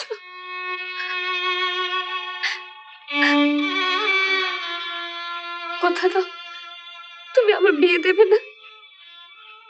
কথা দাও, তুমি কারোর কাছ থেকে একটা টাকাও নেবে না।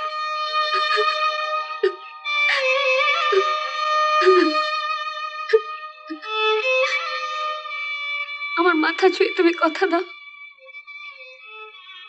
কি হলো? কথা দাও বাবা।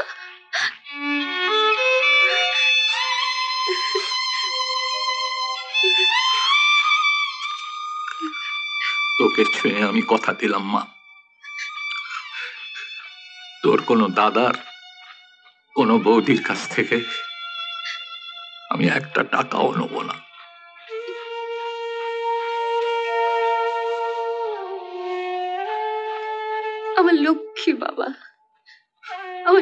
আমার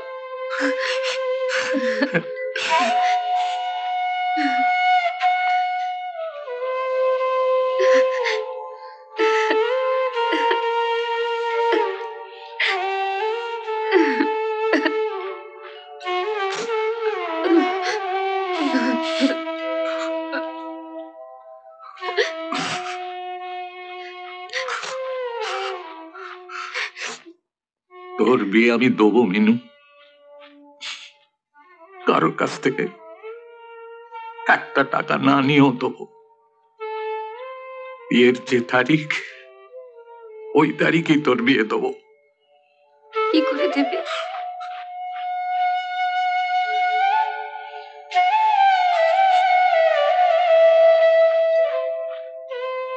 বাড়িটা আমি বেঁচে দেবো। না বাবা। এ তুমি করো না বাবা। আমার জন্য এ বয়সে বাড়ি বেঁচে দিয়ে তুমি কি রাস্তায় গিয়ে দাঁড়াবে?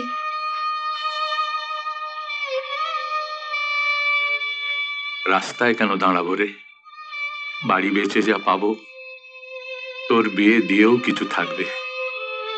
আর তুই চলে যাবার পর ওই হতবাগাটা ছাড়া পিছু টান বলতে আর কিছু থাকবে না। বাকিটা জীবন বাপ ছেলে মিলে ডাল ভাত খেয়ে ঠিক কাটিয়ে দেবো। না বাবা, না। এ ভুল তুমি করো না বাবা। এ ভুল তুমি করো না। দাদা বৌদির চোখের জলে আমার ঘর সংসার ঘর কুটোর মতো ভেসে যাবে। এ তুমি করো না বাবা। কাল সন্ধে তোমার বন্ধুর ছেলে আসবে। তাকে বলে দিও পছন্দ মতো যে কোনো একটা মেয়ে দেখে বিয়ে করে নিতে।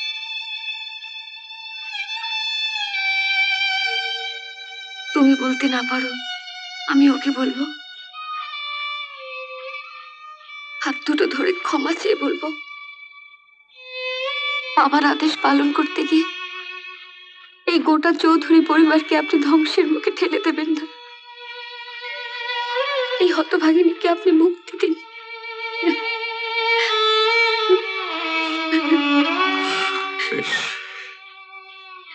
তাই হবে। আমার মেয়ের বিয়ে দেওয়ার যখন সামর্থ্য নেই তখন তাই হবে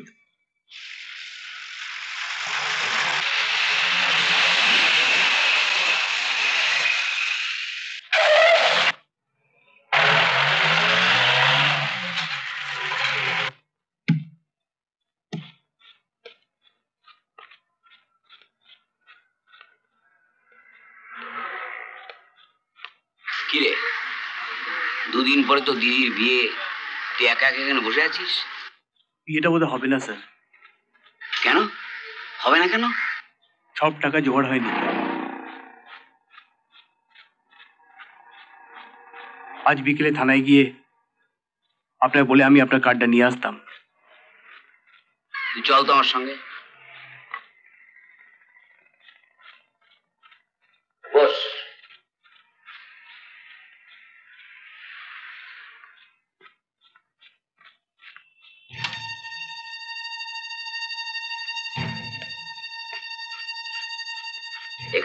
দশেক টাকা আছে। এটা নিয়ে গিয়ে তোর বড়টাকে দে। না স্যার। আপনার এই টাকা আমি নিতে পারব না। শোন এটা তোদেরই টাকা। হ্যাঁ এই কবচে তোকে বেশ কয়েকবার থানায় অ্যারেস্ট করে নিয়ে এসছি। তোর বড়দা টাকা দিয়ে তোকে ছাড়িয়ে নিয়ে গেছে। হ্যাঁ, আমি ঘুষ না নিলে টাকাটা তোর বড়দার কাছেই থাকতো। এখন বিয়েতে কাজে লাগতো। নে ভাই দয়া করে টাকাটা নিন। একশোটা পাপের মধ্যে একটা পুণ্যি করতে দে আমাকে। এগুলো আপনি রাখুন, স্যার। আমি আপনাকে কথা দিচ্ছি। যদি আমার দিদির বিয়ে হয়, আপনার আশীর্বাদ হিসেবে এগুলো আমি নিজে এসে আপনার কাছ থেকে নিয়ে যাব।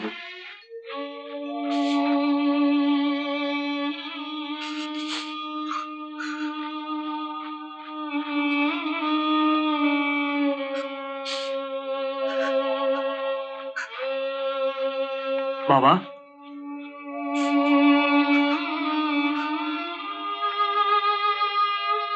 বাবা। তোরা কেউ আমাকে বাবা বলে ডাকবি না। যা এখান থেকে।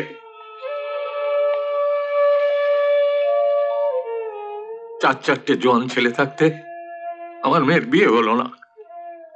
কাঠ ছাপা হয়ে গেছে, নেমন্তন্ন হয়ে গেছে। এখন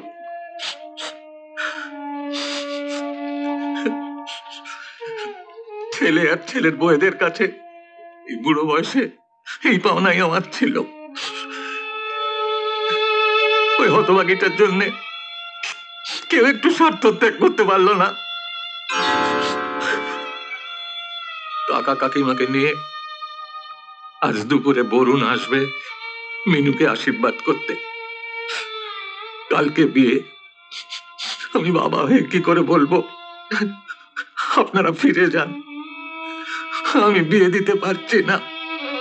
আমার টাকা নেই। আপনারা আমায় ক্ষমা করুন।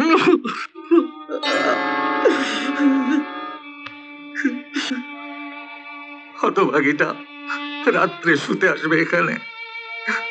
সারা রাত আমার চোখের পাতা এক করা চলবে না।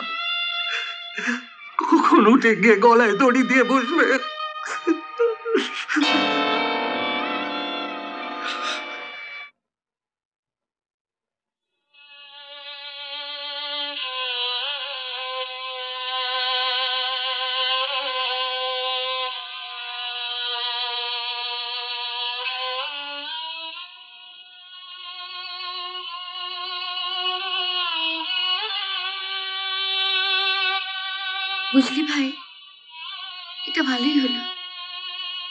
আর বাবাকে ছেড়ে আমি অন্য কোথাও গিয়ে থাকতেই পারতাম না। তুইও তো আমাকে ছেড়ে থাকতে পারতি না, তাই না?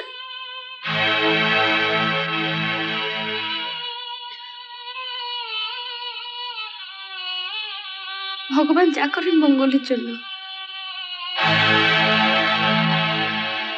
বিশ্বাস কর ভাই, বিয়ে হলো না বলে আমার কোনো দুঃখ নেই।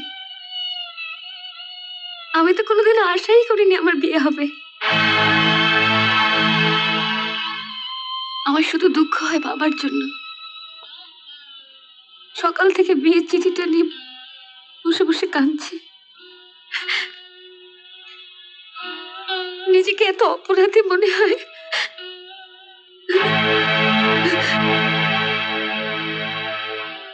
কাল পাত্রের কাকা কাকিমা আসবে আমায় আশীর্বাদ করতে।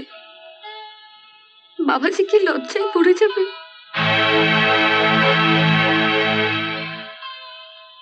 আমার তো ভয় হচ্ছে। আজ রাতে বাবা না কিছু করে বসে।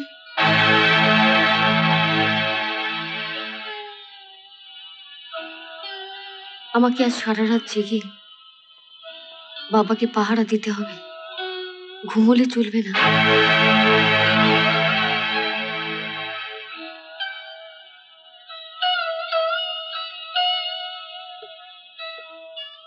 আমি জানতাম আজ হোক কাল হোক তুমি আসবেই এসো নেমে এস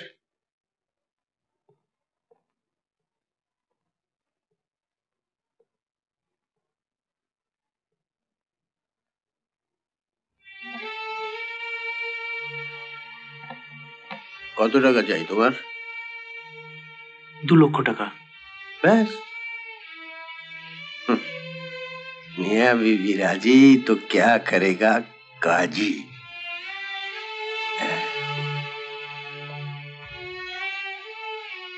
নন্দ নাকি বাজে ছেলে বদ ছেলে বাজার থেকে তোলা আদায় করে এই কথাটাই তুমি টিনাকে বলেছিলে মানে বুঝিয়েছিলে তোমার সুবিধের জন্য হ্যাঁ কিন্তু এখন তুমি কি করছো হ্যাঁ কি করছ? তোলা আদায় করতে গিয়ে নন্দ কিন্তু কোনোদিন বাপ আর মেয়ের বুকে একসঙ্গে চুরি বসতে যায়নি। নন্দ মাস্তান ও স্বীকার করে ও মাস্তান কিন্তু তোমার মতো ভদ্রলোকের পোশাক পরে বড় লোকের মেয়েদের ঠকি ও টাকা রোজগার করে না। মা মরা মেয়ের প্রতি অসহায় এক বাবার দুর্বলতার সুযোগ নিয়ে নন্দ কাউকে ব্ল্যাকমেল করে না। আমি বাড়িতে ফোন করে দিচ্ছি। সিকিউরিটি লোকেরা তোমাকে বাড়িতে ঢুকতে দেবে। তুমি বাড়িতে ঢুকে ইনার কাছে আমার খোঁজ করবে। ইনা নিশ্চয়ই জিজ্ঞেস করবে তুমি কেন আমার খোঁজ করছ। তখন তুমি ওকে সরাসরি বলবে, তুমি ভালোবাসা বেচতে এসেছ। হ্যাঁ? শুধুমাত্র টাকা রোজগার করার জন্যে তুমি টিনের সঙ্গে ভালোবাসার খেলা করেছিলে। তুমি পৌঁছবার কিছুক্ষণের মধ্যেই আমি বাড়ি গিয়ে পৌঁছবো। আর তোমার মতো লোফারকে ভালোবাসার খেসারত হিসেবে টিনাই তোমার হাতে তুলে দেবে দু লক্ষ টাকা। হ্যাঁ। খেয়াল রেখো আঘাতের পর আঘাত দিয়ে টিনাকে কাঁদাতে পারলেই তুমি পাবে ওই দু লক্ষ টাকা। ভালোবাসা নয়।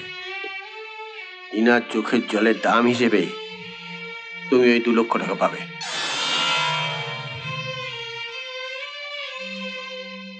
কাকা কাকিমাকে নিয়ে আজ দুপুরে বরুণ আসবে মিনুকে আশীর্বাদ করতে। কালকে বিয়ে আমি বাবা হয়ে কি করে বলব? আপনারা ফিরে যান। আমি বিয়ে দিতে পারছি না। আমার টাকা নেই। কি এত ভাবছ? যাও। এনাকে গিয়ে বুঝিয়ে দাও। তুমি ওর পতি হতে চাওনি। চেয়েছিলে লাখপতি হতে। যাও। কো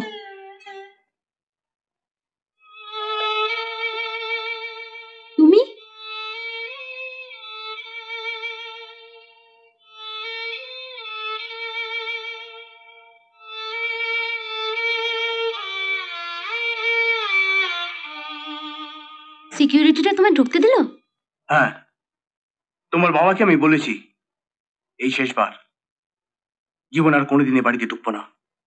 এ বাড়িতে আর ঢুকবে না? না। আর আমি নিজের মুখেই তোমাকে সে কথাটা জানাতে এসেছি। কেন? ঢুকবে না কেন? আমি বাঁচতে চাইটি না আর সেটা একটা লোফার হয়ে নয়। আর পাঁচটা মানুষের মতো আমি মাথা উঁচু করে বাঁচতে চাই। আর সেই সুযোগটাই তোমার বাবা আমাকে দিচ্ছেন। আমার বাবা সুযোগ দিচ্ছেন?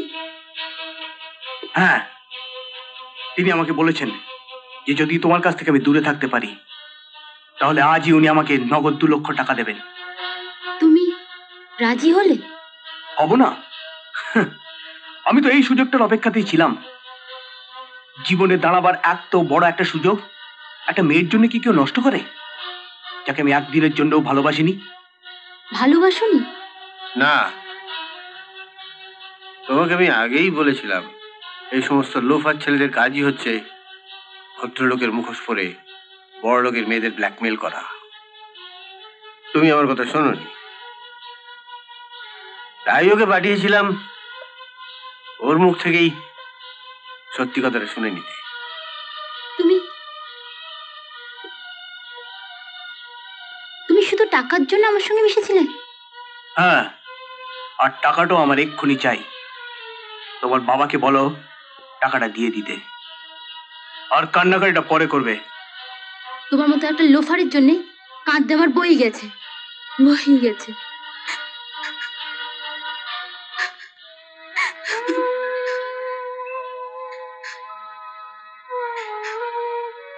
হতাশ হয় না টিনা? অপেক্ষা করো। দেখি যদি ব্যবসা করে দাঁড়াতে পারি তখন না হয় বিয়ের কথা ভাবা যাবে। অপেক্ষা করব? তোমার মতো একটা লোফারের জন্যে? বাবা সামনে যে বিয়ের তারিখ আছে অশোকের সঙ্গে তুমি আমার বিয়ের ব্যবস্থা করো। নিশ্চয়। দাঁড়া আগে এটাকে টাকাটা দিয়ে তাড়াই।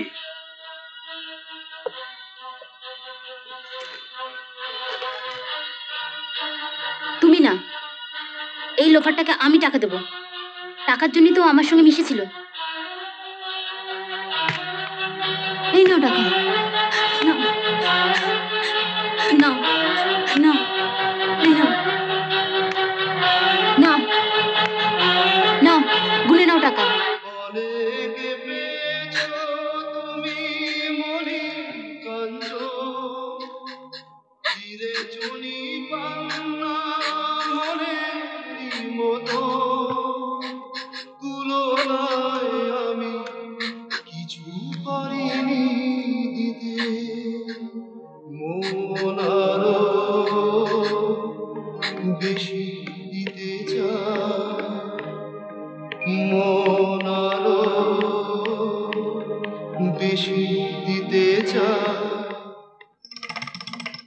যাই।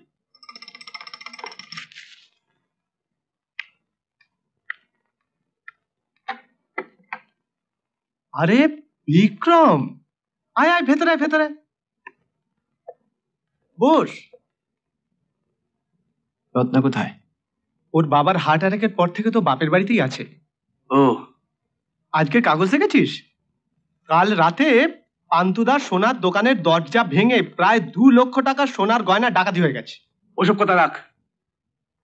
তুই আমার একটা কাজ করে দিতে পারবি? বল কি কাজ? দু লক্ষ টাকা? আপনি তো জানেন দাদা বিক্রম না থাকলে আমাদের বিয়েই হতো না। তাই রত্না যখন শুনলো যে টাকার অভাবে মিনুদির বিয়ে হচ্ছে না তখন ওর সব গয়না বেচে এই টাকাটা দিয়েছে। নিন ধরুন দাদা। তোমাদের কি বলে যে আশীর্বাদ করব? চলো বাবার কাছে চলো। বাবা খুব খুশি হবেন। চলো। আজকে আমি যাই দাদা। আমার একটু কাজ আছে। আমি পরে একদিন আসব। আজ চলিস।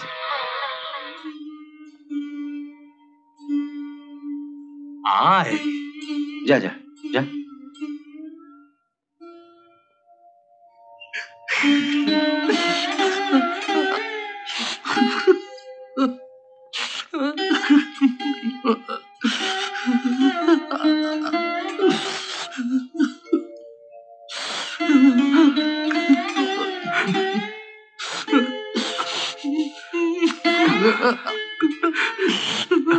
বাবা।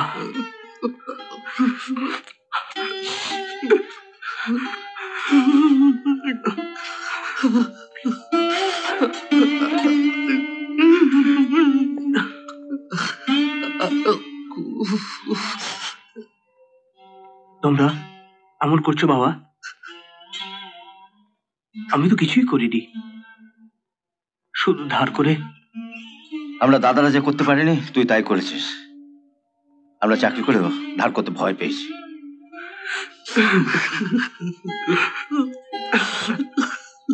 বিয়েটা হয়েছে দে তোর বন্ধুর ঋণ আমি শোধ করে দেবো।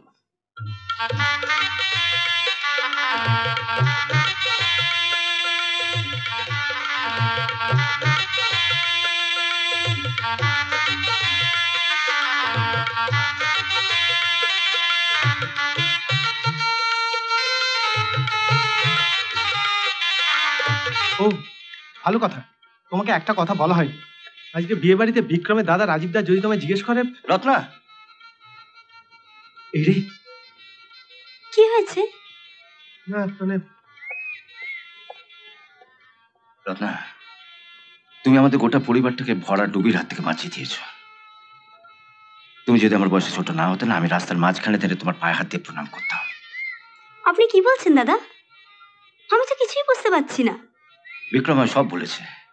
তুমি যদি তোমার বিয়ের গয়না বিক্রি করে বিক্রমকে দু লক্ষ টাকা না দিতে তাহলে তো দাদা আপনি ভুল করছেন। আমার এত গয়না কোথায় বলুন? যে আমি বেচবো? কি গো বলো না। তুমি তোমার গয়না বেচে বিক্রমকে দু লক্ষ টাকা দাওনি? কই না? বিক্রমদার সাথে তো এর মধ্যে আমার দেখাই হয়নি। মিনতিদের বিয়েতে যাব বলে বাপের বাড়ি থেকে একদিনের জন্য আমি এসেছি। বিক্রম তাহলে দু লক্ষ টাকা কোথায় পেল? আমি আমি জানি না দাদা। তবে যে সেদিন তুমি আমায় বললে যে বিক্রম আমাকে ওই কথাটা বলতে শিখিয়ে দিয়েছিল। আমি ওকে জিজ্ঞেস করেছিলাম দাদা। ও আমাকেও বলেনি যে টাকা কোথায় পেয়েছে।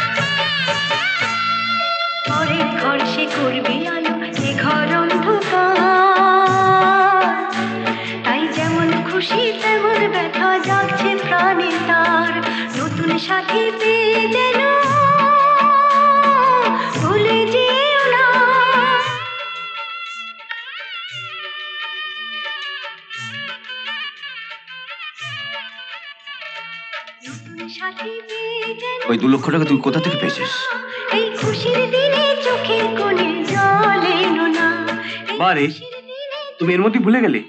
ভাস্কর তো তোমায় নিজে এসে বলে গেল যে রত্নার গয়না বিক্রি করে একটু আগে বাজারে যাওয়ার সময় রত্নার ভাস্করের সঙ্গে দেখা হয়েছিল। রত্না তো বলল তোকে গয়নাগুলো দেয়নি। আরে না না ওই দিয়েছে। ও তোমায় মিথ্যে কথা বলেছে। আরে চলো ওইদিকে চলো। দাঁড়া দাঁড়া দাঁড়া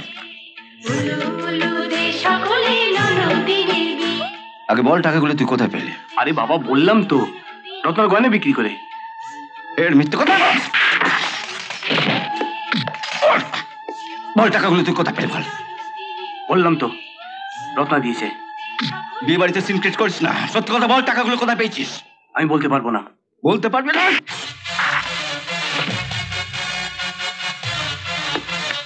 ঠিক যেভাবে দরজা ভেঙে তুই গুড্ডুর ওষুধ চুরি করেছিলি, ঠিক সেইভাবে গয়নার দোকানে দরজা ভেঙে গয়না চুরি গেছে। এখন বুঝতে পারছি চুরিটা তুই করেছিস। না, আমি চুরি করিনি। তাহলে বল কোথায় পেয়েছিস টাকাটা? বলব না। বলবি না? না। তবে আমি এতটুকু বলতে পারি যে আমি চুরি বা ডাকাতি করিনি। তাহলে অতগুলো টাকা পেলি কোথায় বল? বললাম তো বলব না। বলবি না?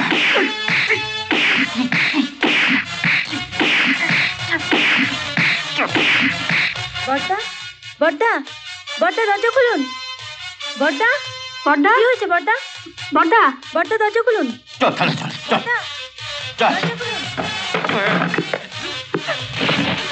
কি হলো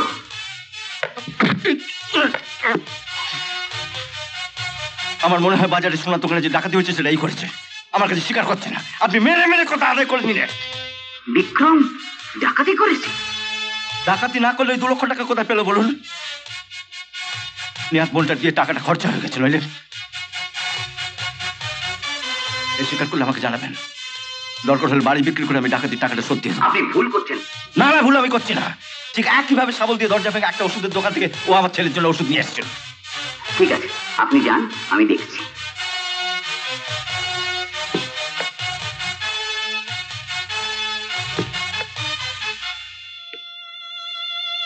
তুই এমন একটা কাণ্ড ঘটালি তোর অমন দেবতুল্য দাদাও তোর বিশ্বাস হারিয়ে ফেলল। আমায় বল টাকাগুলো তুই কোথায় পেলি? এই স্যার।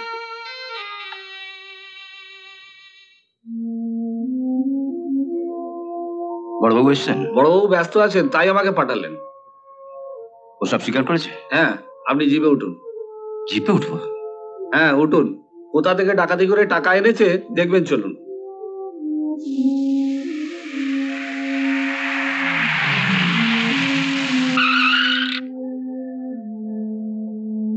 আসুন।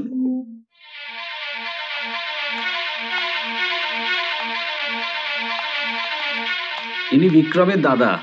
আপনার সঙ্গে দেখা করতে এসেছেন। নমস্কার। কেন? লোফারটা কি আরও টাকা চেয়ে বাড়িয়েছে নাকি? আমার মেয়ের জীবনের দাম হিসেবে ও দু লক্ষ টাকা চেয়েছিল। হুম, আমি তো সে টাকা দিয়ে দিয়েছি। আপনি কি জানেন? ওই দু লক্ষ টাকা আমার লোফার ভাইটা কেন নিয়েছিল? আমার জানার কোনো কৌতূহল নেই। আপনি এখন আসতে পারেন। আপনার কৌতূহল না থাকলেও আপনাকে শুনতে হবে। টাকাটা ও কেন নিয়েছিল? বললাম যে আমি শুনতে চাই না। তাহলে আপনি আপনার মেয়েকে ডাকুন। আমি ওকেই সব কথা বলে যাচ্ছি। বললাম তো কোনো কথা শুনতে চাই না। আপনারা যান।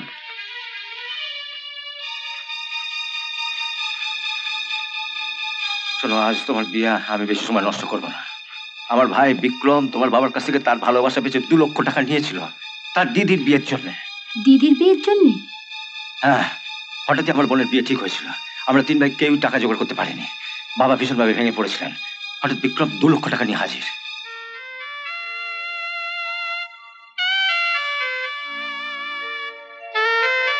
তারপর?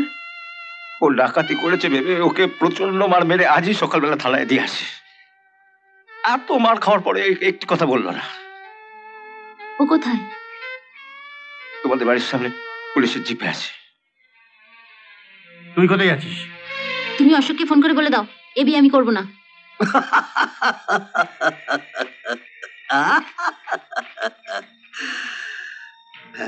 না না না না না না। এ বিয়ে করব না বললে তো চলবে না টিনা। এই! খবরদার কেউ এক পা নড়বে না। হ্যাঁ, আমি টিনাকে অশোকের বাড়িতে নিয়ে যাব। হ্যাঁ ওখানেই ওর বিয়ে হবে। চমকাচ্ছেন কেন? আপনারা তো অশোকের সঙ্গে বিয়ে ঠিক করেছিলেন না? তো ওখানে ওকে নিয়ে যাচ্ছি। ওখানেই বিয়েটা হয়ে যাবে? এই গাড়ি বের কর। বাবা! চলে আয় তোরা। চলো। এই বাবা! চলে আয়। কেউ নড়বে না। বাবা। একবার নড়বে না নড়লেই বাবা এই চল চলো বাবা হ্যাঁ, চলে আয়। আহ! এগিয়ে আসছে। ওঠো, ওঠো। এই, যাও,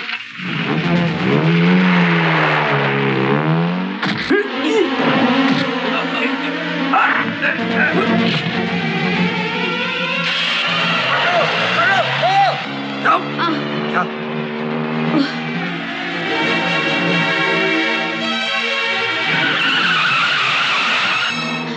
না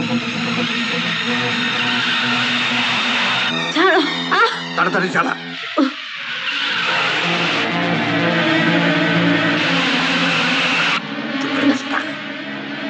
উড়ি করে একদম একদম উড়িয়ে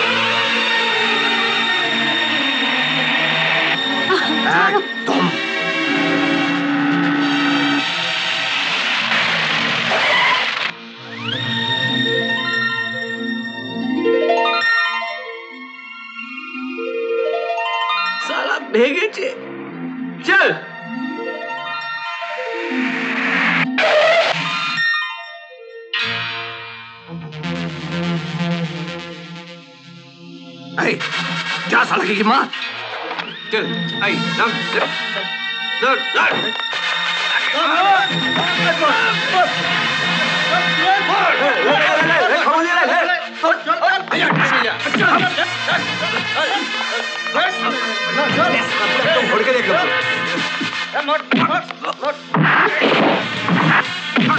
Jump!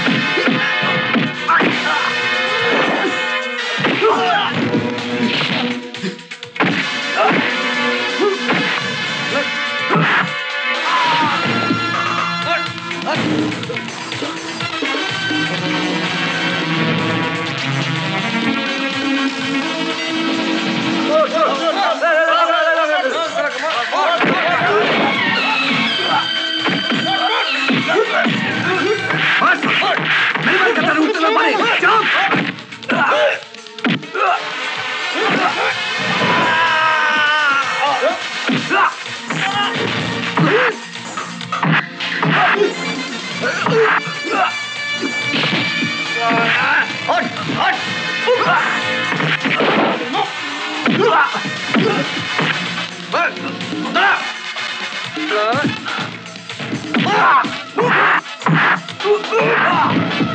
Put the bells on again. It's just just like him.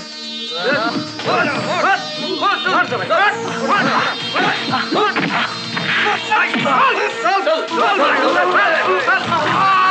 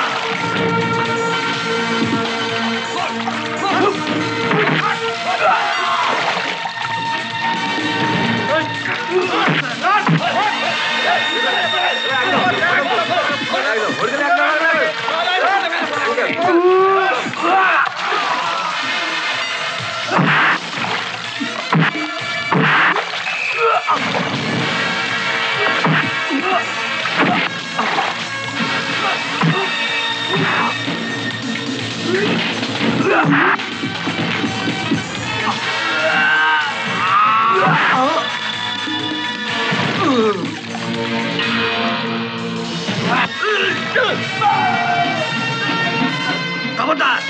না। এক পা এগোলে গুলি করে খুলি উড়িয়ে দেবো।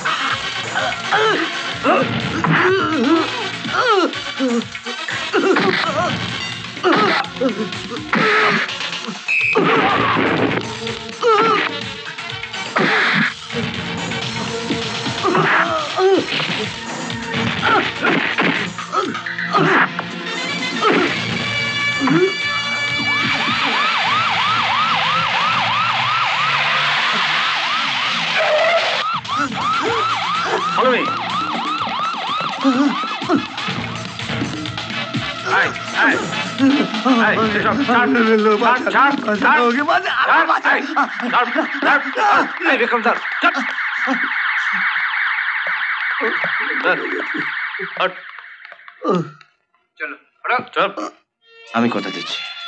বিক্রম যে টাকাটা নিয়েছে আমি এক বছরের মধ্যে ফেরত দিয়ে দেবো। ওটা আমি বিক্রমের সাহসিকতার জন্য দিলাম। ও আমার মেয়েকে বাঁচিয়েছে। এটা পুরস্কার। ও প্রিয় সজন জানি তো এখন। ও প্রিয় সজন জানি তো এখন। চোখ চাই প্রেমের চাওয়ার প্রাণ খোলা, মন খোলা, দিল খোলা। প্রাণ খোলা, মন খোলা, দিল খোলা। দোল দোলা দোল দোলা দোল দোলা। দোল দোলা দোল দোলা।